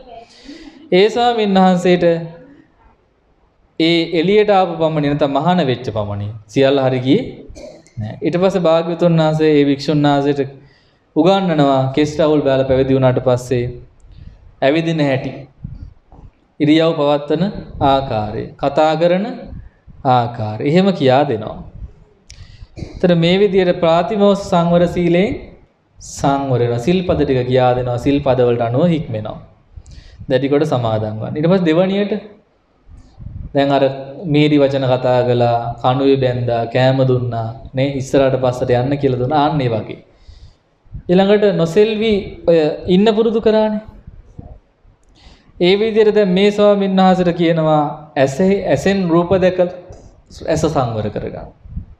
ඒව නිසා රාග දේශම ඇති වෙන්නේ නැති විදිහට සිහිය පවත්වන. රූපේ ආදීන අනිත්‍ය බව මෙනෙහි කරන්න. ඒකට කියන ඇස සංවර කරගත්තා. කනෙන් ශබ්ද අහලා ඒ ගැනත් එහෙමයි. නාසයෙන් ගඳ සුවඳ දැනුනම ඒත් සංවර වෙනවා. කලබල වෙන්නේ දිවෙන් රස දැනුනමත් සංවර වෙනවා. කයෙන් පහස දැනුනමත් සංවර වෙනවා. හිතෙන් හිත අරමුණු ගැන උනත් සංවර වෙනවා. ඒකට කියන මොන සීලයද? ආන්න දෙවනුවට ඉන්ද්‍රිය සංවර සීලය ඉක්මනද ඇතාගේ අර දමණය වෙච්ච පියවරවල් වගේ තමයි මේ ස්වාමීන් වහන්සේ කෙනෙක් දමණය කරන්නෙත්. ඊළඟට දෙනවා දමණය වෙන්න කොටසක් ඒ තමයි ප්‍රත්‍යසන්නිසිත සීලය. භෝජනේ පමන දැනීම. දැන් අපි දාණය වළඳනකොට කරේ මොකද්ද කරේ? මම මේ දාණය වළඳන්නේ මොකටද? ශරීරය පවත්ව ගන්න නේද? භෝජනයේ පමණ දන්නේ වෙයි. නුවණින් සලකා බල ආහාර ගනු. ක්‍රීඩා පිණිස නොවේ. මදය පිණිස නොවේ. ශරීරයේ සැරසීම පිණිස නොවේ. අලංකාරය පිණිස නොවේ. මේ කයේ පැවැත්ම යැපීම පිණිසය. විහිංසාවෙන් වැළකීම පිණිසය. Brahmacharyaට අනුග්‍රහ පිණිසය පරණ බඩගිනි වේදනා දුරු කරගන්නයි අලුත් වේදනා නූපදවන්නයි මගේ ජීවිත යාත්‍රාව නිවැරදි හා පහසු විහරණය ගත කරන්න. එහෙනම් සුවසේ නිවන් මඟ දියුණු කරන්න අපි මේ ආහාර ගන්නේ කියන එකෙන් භෝජනේ පමණ දැන ගන්නවා. පමණ දැන ආහාර. දැන් මෙහෙම සිහි කරාම උනට වඩා කන්න හිතෙන්නේ නැහනේ. ඇයි? ශරීරේ පවත්වන්න විතරයි කියලා දන්න. දැන් හැඩ කරන්න ලස්සන වෙන්න මහත් වෙන්න කියලා කන්නේ නෑ. දැන් සුදු වෙනවා පාට වෙනවා කියලා කිව්ව මොන හරි කෑමක් කාලා ඒක කන්න යන්නේ නෑ. එහෙම කෑම තියනවද? පාට වැටෙන ඒවා. මොනවා ගොටුකොළද? එහෙනම් ගොටුකොළ වත්තක් වවා ගන්නවා. කනවා. එහෙම කන්නේ නෑ. ඇයි කන්නේ නැත්තේ වරණවත් වෙන නෙවෙයි කෑම කන්නේ. වැඩියෙන් මහත් වෙන ඒවා මොන හරි තියනවද? ඔව් මොනවද කන්න ඕන වැඩියෙන්? ඈ පෝෂ්‍යදායිනේ මස් වගේ ඒවා නේ. එහෙනම් ඒවා ප්‍රෝටීන් බහුල ආහාර ගන්න කියනවා. ඒව ගන්නෙත් විශේෂයෙන් ගන්න ලැබුණොත් වළඳන එච්චරයි. හොයන්න යන්නේ නැහැ. ඒක තමයි භෝජනේ පමණ දැනගන්නවා කියන්නේ. ඊළඟට තියෙනවා මේ ස්වාමීන් වහන්සේ නිදිවැරීමේ දෙනවා. මොකද නිදිවැරෙනවා කියන්නේ?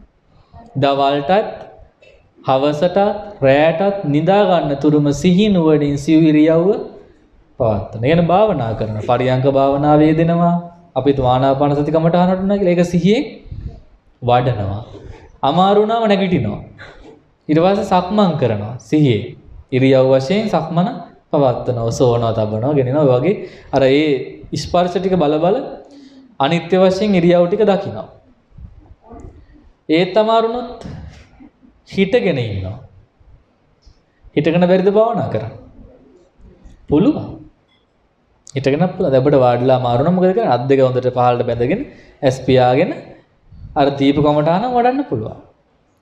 සැතපෙන වෙලාවට අපි රෑ 10ට ඔය 11ට විතර බලවත් සිහියෙන් උදෙන්ම නැගිටිනවා කියලා අදිෂ්ඨාන කරගෙන දකුණු ඇලෙන් සිංහ සෙයියාවෙන් සැතපෙනවා. හැබැයි සිංහ සෙයියාව වෙන සෙයියාවක් වෙන්න බෑ උදේ වෙනකොට. ඒ පෙරේත සෙයියාව වගේ වෙන්න බෑ. ඒකෙන් ඉන්නවල දැන් භාවනා කරන කෙනාගේ විශේෂත්වය තමයි යම් ඉරියව්වකින් සතපුණාද ඒ ඉරියව්වෙම තමයි යා නැගිටින්නේ. මොකද සිත සංවර නිසා කයත් සංවර. නිශ්චල වෙන එක බලන්න ඕන නම් කරලා හොඳට. අපිට අත්දැකීම් තියෙන නිසා තේරෙනවා මේ නිින්ද කියන එක එච්චර අමාරු නෑ. සුවසේ නිින්ද යනවා, සුවසේ ඉරියව් පැවතෙනවා. අර මලක් පිබුදුනා වගේ පිබිදෙන්නත් පුළුවන් මේ භාවනා වඩනව නම් නැත්තම් කුණු කෙල පෙරාගෙන නේද ගෙවල් නේද? ඇඟ මැලි කඩාගෙන, කෙඳිරි ගාගෙන, අඬාගෙන, දොඩාගෙන, අනුන්ට බැනගෙන තමයි සමහර අය නැගිටින්නේ. මොකද සමහර නැගිටින්නේ වතුර පාරක් වැදිලා නිසා. ඇයි වෙලාවට නැගිටින්නේ? නැති නිසා. එහෙනම් මේ තුන්ඥා මුළුල්ලේ හිත රාග ද්වේෂ මොහයන්ගේ පිරිසුදු කරගෙන ආවරණ ධර්මයන් කියන කාමච්ඡන්ද, ව්‍යාපාද, තීන මිද්ද, උද්ධච්ච, කුක්කුච්ච විචිකිච්ඡා කියන පංච නීවරණයන්ගේ මිදෙමින් මේ ස්වාමින් වහන්සේ භාවනා කරනවා. ඒකට කියනවා නිදි වැරීමේ යෙදීම කියලා. ඒකෙනුත් හිත දියුණු කරගෙන යනවා. ඉතින් මේ විදිහට සිහිනුවන පවත්වන ඊට පස්සේ දැන් අපි කීයක් කිව්වේ ප්‍රාතිමෝක්ෂ සීලය සංවර වෙනවා ඉන්ද්‍රිය සංවරයෙන් සංවර වෙනවා භෝජනයේ පමණ දැනගන්නවා නිදි වැරීමේ ඊට පස්සේ සති සම්පජඤ්ඤකාරී වෙනවා මොකක්ද සිහිනුවන කියන්නේ ඉස්සරහට යන්නේ සිහියෙන් ආපසු එන්නේ සිහියෙන් බලන්නේ සිහියෙන් ආහාර අනුභව කරන්න සිහියෙන් වැසිකිලි කැසිකිලි කිසපවා කරන්නේ ඒක ඒක පවා සිහියෙන් කරන එක කිව්වේ නාම රූප දෙක හිත මුල් වෙලා කය වැඩ කරනවා කියන එක. සිතට නාමය කියන කයට රූපේ නාම රූප දෙය. හැබැයි කරන දේ සීකර කර කරන්න ඕන නුවණින් දකිමින්. අන්න සිවුරු පෙරවීම පින්ඩපාතේ වැඩිම මේ සියල්ල භික්ෂුවක් නම් ගිහි කෙනෙක් නම් යා කරන හැම වැඩක්ම සීයෙන් දැන් කෙනෙක්ට කියන්න බෑ මට භාවනා කරන්න වෙලාවක් නැත කියලා. මේක දන්නවනම්. එහෙනම් සම්පජඤ්ඤ භාවනා පුරුදු කරන්න ඕනේ. චතු සම්පජඤ්ඤ භාවනා. කුඩා අනු කුඩා ඉරියව්, කෑම බීම, මල මුත්‍රා කිරීම පවා ඒ සියල්ලම සිහියෙන් කරනවා. නිදා ගන්නකොට නිදි වර්ජිතව නිින්දෙන් ඉන්නකොට සිහියෙන් ඉන්න බෑ. නිදිනේ. නිදා නිදි වර්ජිතව ඉන්නකොට, නිදි වරනකොට. අන්න කතා කරද්දි සිහියෙන් කතා. එතකොට ඒක වාසී බලන කතා කරද්දි වචන හැමේ වෙන්නේ නැහැ නේද? එතකොට සිහියෙන් කතා කළොත් හරි පරිස්සමෙන් මිනිස්සුත් එක්ක කතා කරන්න ඕනේ. වැරදෙන්නේ ඒවනේ නේ. ගුටි කන්න බව වෙන්නේ වචන වැරදීම නිසානේ. එහෙනම් ඒකත් හොඳයි. නිශ්ශබ්ද ඉන්නකොට සිහියෙන් ඉන්න ඕන. ඒ කියන්නේ ඔය ආර්ය වූ තෘෂ්ණිම් භූත භාවයෙන් භාවනා මානසිකාරයක් කරමින්ම තෘෂ්ණිම් භූතව ඉන්න නැතුව බූණ එල්ලන් හිටියට වැඩක් වෙන්නේ නැහැ. එහෙනම් අපි කතා කරන්න ඕනේ යමක් තියෙනවනම්. දැන් මට කතා නොකර බෑ මේ වෙලාවේ. මම තමයි මෙතන කතා නායක. ඇයි? මට තමයි මයික් එක දීලා තියෙන්නේ. දැන් එළි වෙනකන් රෑ වෙනකන් මට තියෙන්නේ කතා කරන්න. රෑට තමයි අමාරු වෙන්නේ. ඔව් උගුර විතරක් නෙවෙයි මුළු ඇඟම රිදෙනවා ඊට පස්සේ. මේ ඔබට තේරෙන්නේ නැතුණාට මේ කතා කරන්න ශක්තිය යොදවනකොට මේ නාමී ඉඳගෙනම ශක්තිය එනවා. දැන් මේ ශබ්දයට එන වායෝ ධාතු වෙන්නේ කොතනින්? නාමී පේන්නේ නැහනේ. මෙතන තියෙන්නේ. මෙන්න මේ ඇඟිල්ල තියෙන අන්න එතන.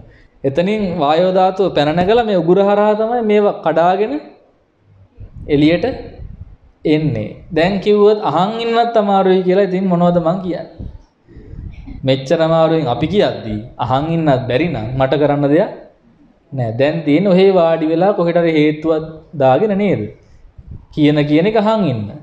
අමාරුද ලේසිද? අහන්න අමාරුද? කන ඇහෙනවනම් ඇහෙනවනේ ලේසිනේ.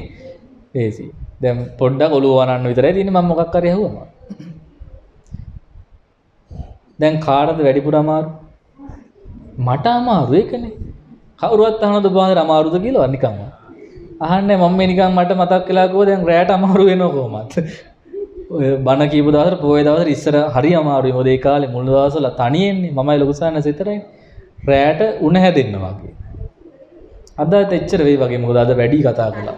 ඔව් තනියමනේ අද ඔක්කොම වෙනද කියලා වෙනසක් නැහැ. මෙහෙ නොකරට එහෙත් කරනවා කියලා. තිස්සමාරාමයේ ඔය කොහේ හරි. ඉතින් මේ පෝය දවසේ ඒක හිතන්නේ මොකද පාරමී පුරා ගන්න ලැබෙන දවසක්. මං කලිනුත් ඔබට කියලා ඉතින් මේ පිරිස ආවේ නැත්තම් මං කොහොමද බණ කිය කාටේ කියන්නේ? දැන් තනියෙන් චෛත්‍යකරකින් බණ කියන්න පුළුවන්? පුළුවන්. මෙහෙම කියවෙන්නේ ඇයි ශ්‍රාවක පිරිසක් නෑ මේ වගේ ලස්සන මූණු ටිකක් නෑ. බලන් කියන්න. ඒක හේතුව.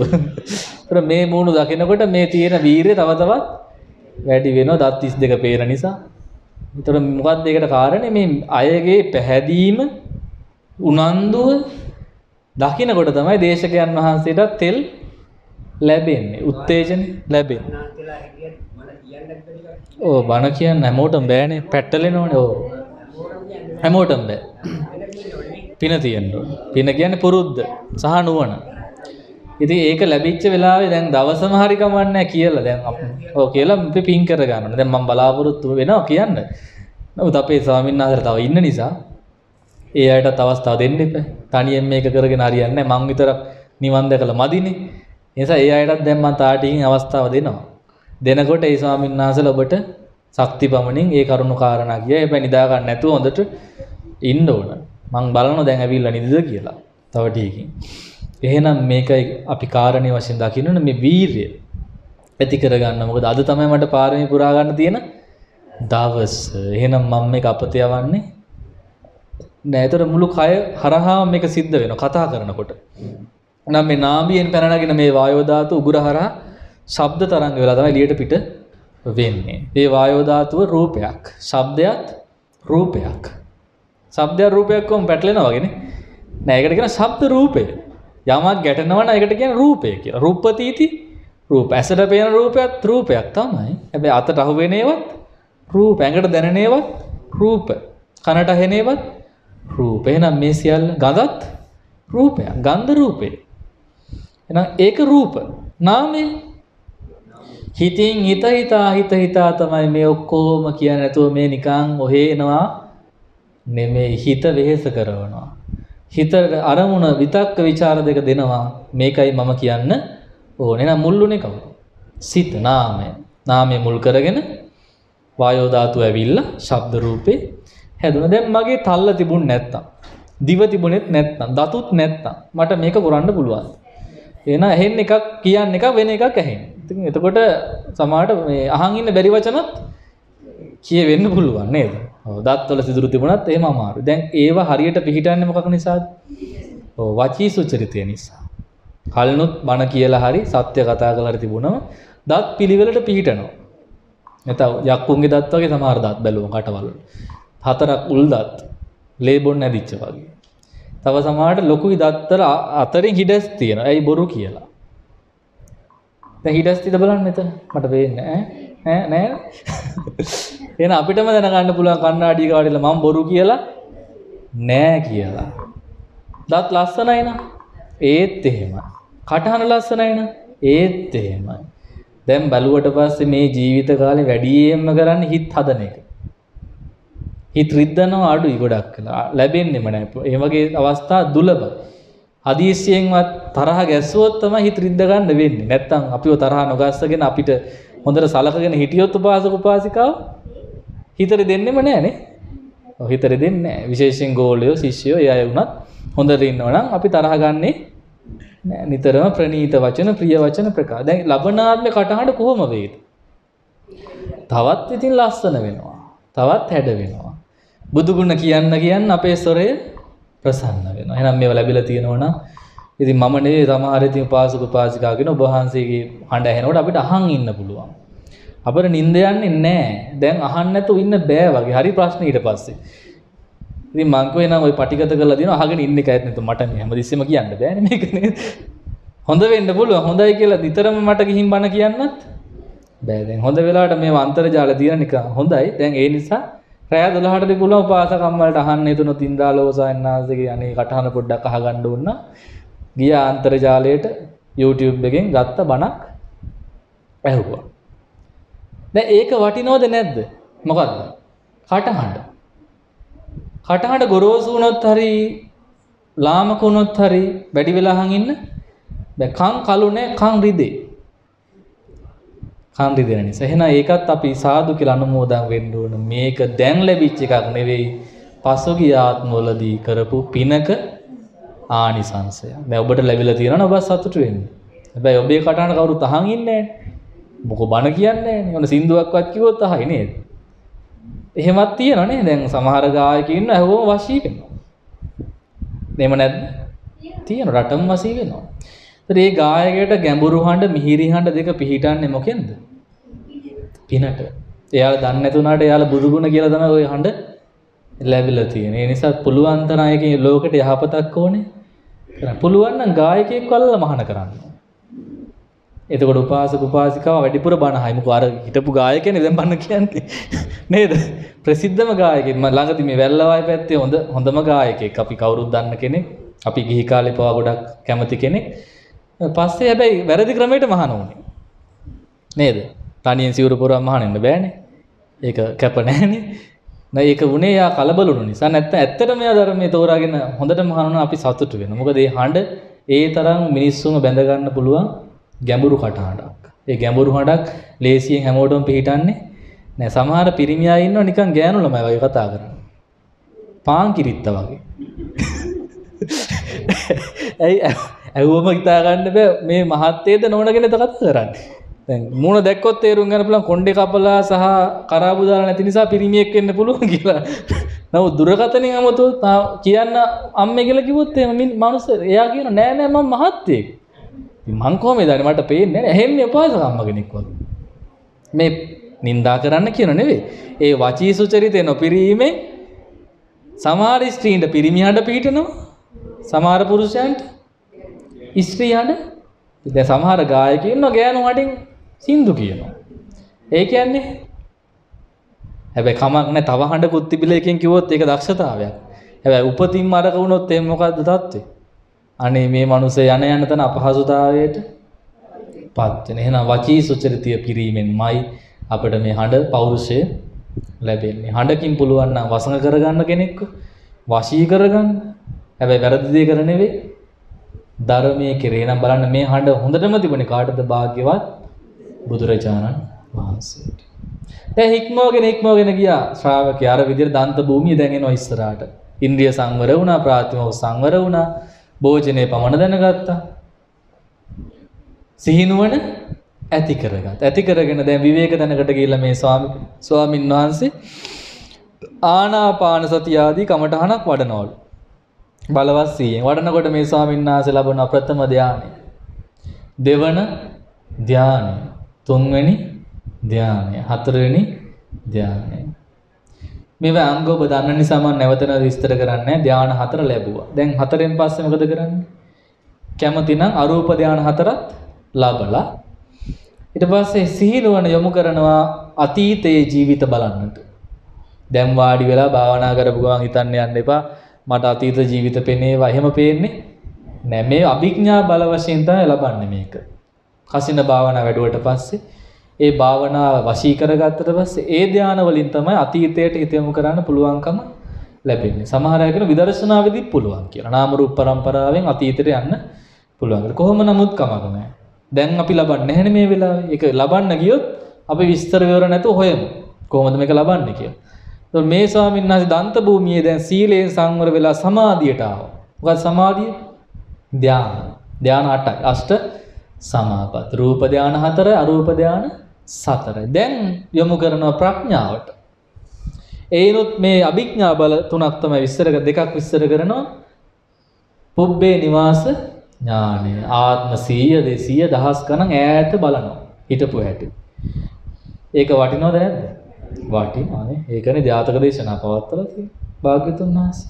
දෙවනි ඥානය උපදිනවා චුතූපපාත ඥානය. මේ යන සත්වයෝ කර්ම අකුසල් කරා නම් එයාලා නිරේ යන හැටිත්, പ്രേත ලෝක යන හැටිත් පේනවා. දකින්න පුළුවන්. කුසල් කරපු අය මෙරිලා සදිව්‍ය ලෝක ඉපදෙන හැටිත් බලන්න පුළුවන්. ඒකට කියනවා දිවස් නුවණ කියලාත් කියනවා. චතුප්පාත ඥානය කියලාත් කියනවා. මේ කෙටියෙන් කියන්නේ. විස්තර වශයෙන් කිව්වොත් පංච අභිඥාම ලබන්න පුළුවන්. ඒ කියන්නේ 이르දි විද ඥානය රූපමවන්න 이르දි විද මනෝමේ르දි මනෝමේ르දි කියන්නේ Taman වගේ රූප දහස් ගණන්ම වන්න පුළුවන්. දිබ්බ චක්කු දිබ්බ සෝත පරචිත්ත විචාරණ. මේවා වටිනවනේ. අනුන්ගේ සිත් බලන්නේ දැන් නම් ගොඩක්ම වටිනවා. ලැබුණට පස්සේ වැඩකුත් නැහැ ඉතින්. දැන් මෙහෙම ඉන්නකොට ලැබෙන්නේ නැහැ. වැඩ ගොඩයි කරගන්නේ දැන් නම්. අරයා මොනවද හිතන්නේ මෙයා මොනවද හිතන්නේ කියලා නේද? දැන් ඔය අපිට පොරුන් දෙන අය ඇත්තරමද පොරුන් දෙන්නේ කියලා උනත් බලා ගන්න පුළුවන්. නමුත් ලැබෙන්නේ නැති වෙලාවේ නැති වෙලාවේ අපිට ඕන වුණාට ලැබුණට පස්සේ මේ උමනාවල් නැති වෙන. එතකොට දකින්න යාගේ අවබෝධය මොන වගේද කෙලස් තියේද නැද්ද අඩුද වැඩිද බලලා බණ කියන්නේ එහෙම තමයි ඔක ප්‍රයෝජනවත් වෙන්නේ. පරචිත්ත විචාරණ දැන් මේ දේශනාවේ කියා දෙන්නේ පුබ්බේ නිවාස ඥාන ලැබුවා දෙවණියට චතුූපපාත ඥාන ලැබුවා ඊට පස්සේ කෙලෙසුන්ගෙන් හිත නිදහස් කරන්නා වූ ආසවක්ඛය ඥානෙ ලැබුවා. දැන් රාග දේශ මොහ නැති රහතන් වහන්සේ කෙනෙක් බවට පත් වුණා. රජාගේ ඇතා රජතුමාගේ ඇතා රජ ඇතා කියමු අපි. ඒ රජ ඇතා දැන් ඇතාගෙන පටන් ගත්ත ඇතාගෙම තමයි භාග්‍යතුන් වහන්සේ අවසන් කරන්නේ. ඇතා වයසට ගිහිලා නොදැමී මැරුණා නම් හොඳද නැද්ද? හොඳ නෑ. තරුණ ඒ කියන්නේ මැදි වයසේදීත් නොදැමී මැරුණා නම් ඒත් හොඳ නෑ. තරුණ කාලේ ළමා කාලේ මරුණා නම් නොදැමී දමණය නොවි හොඳ නෑ. හැබැයි රජා රජතුමාගේ රාජ ඇත වයසට ගිහින් මැරුණේ දමණය බනෝ. එය සුදුසුයි. තරුණ වයසේදී මැදි වයසේදී මේ ඇතා මැරුණේ දමණය වනෝ. එය සුදුසුයි. තරුණ වයසේදී මැරුණේ දමණය වෙලා නෝ. එය සුදුසුයි. ඒ වගේ භික්ෂුවක් අපවත් වෙන්නේ රහත් වෙලා නෙවෙයි නම්.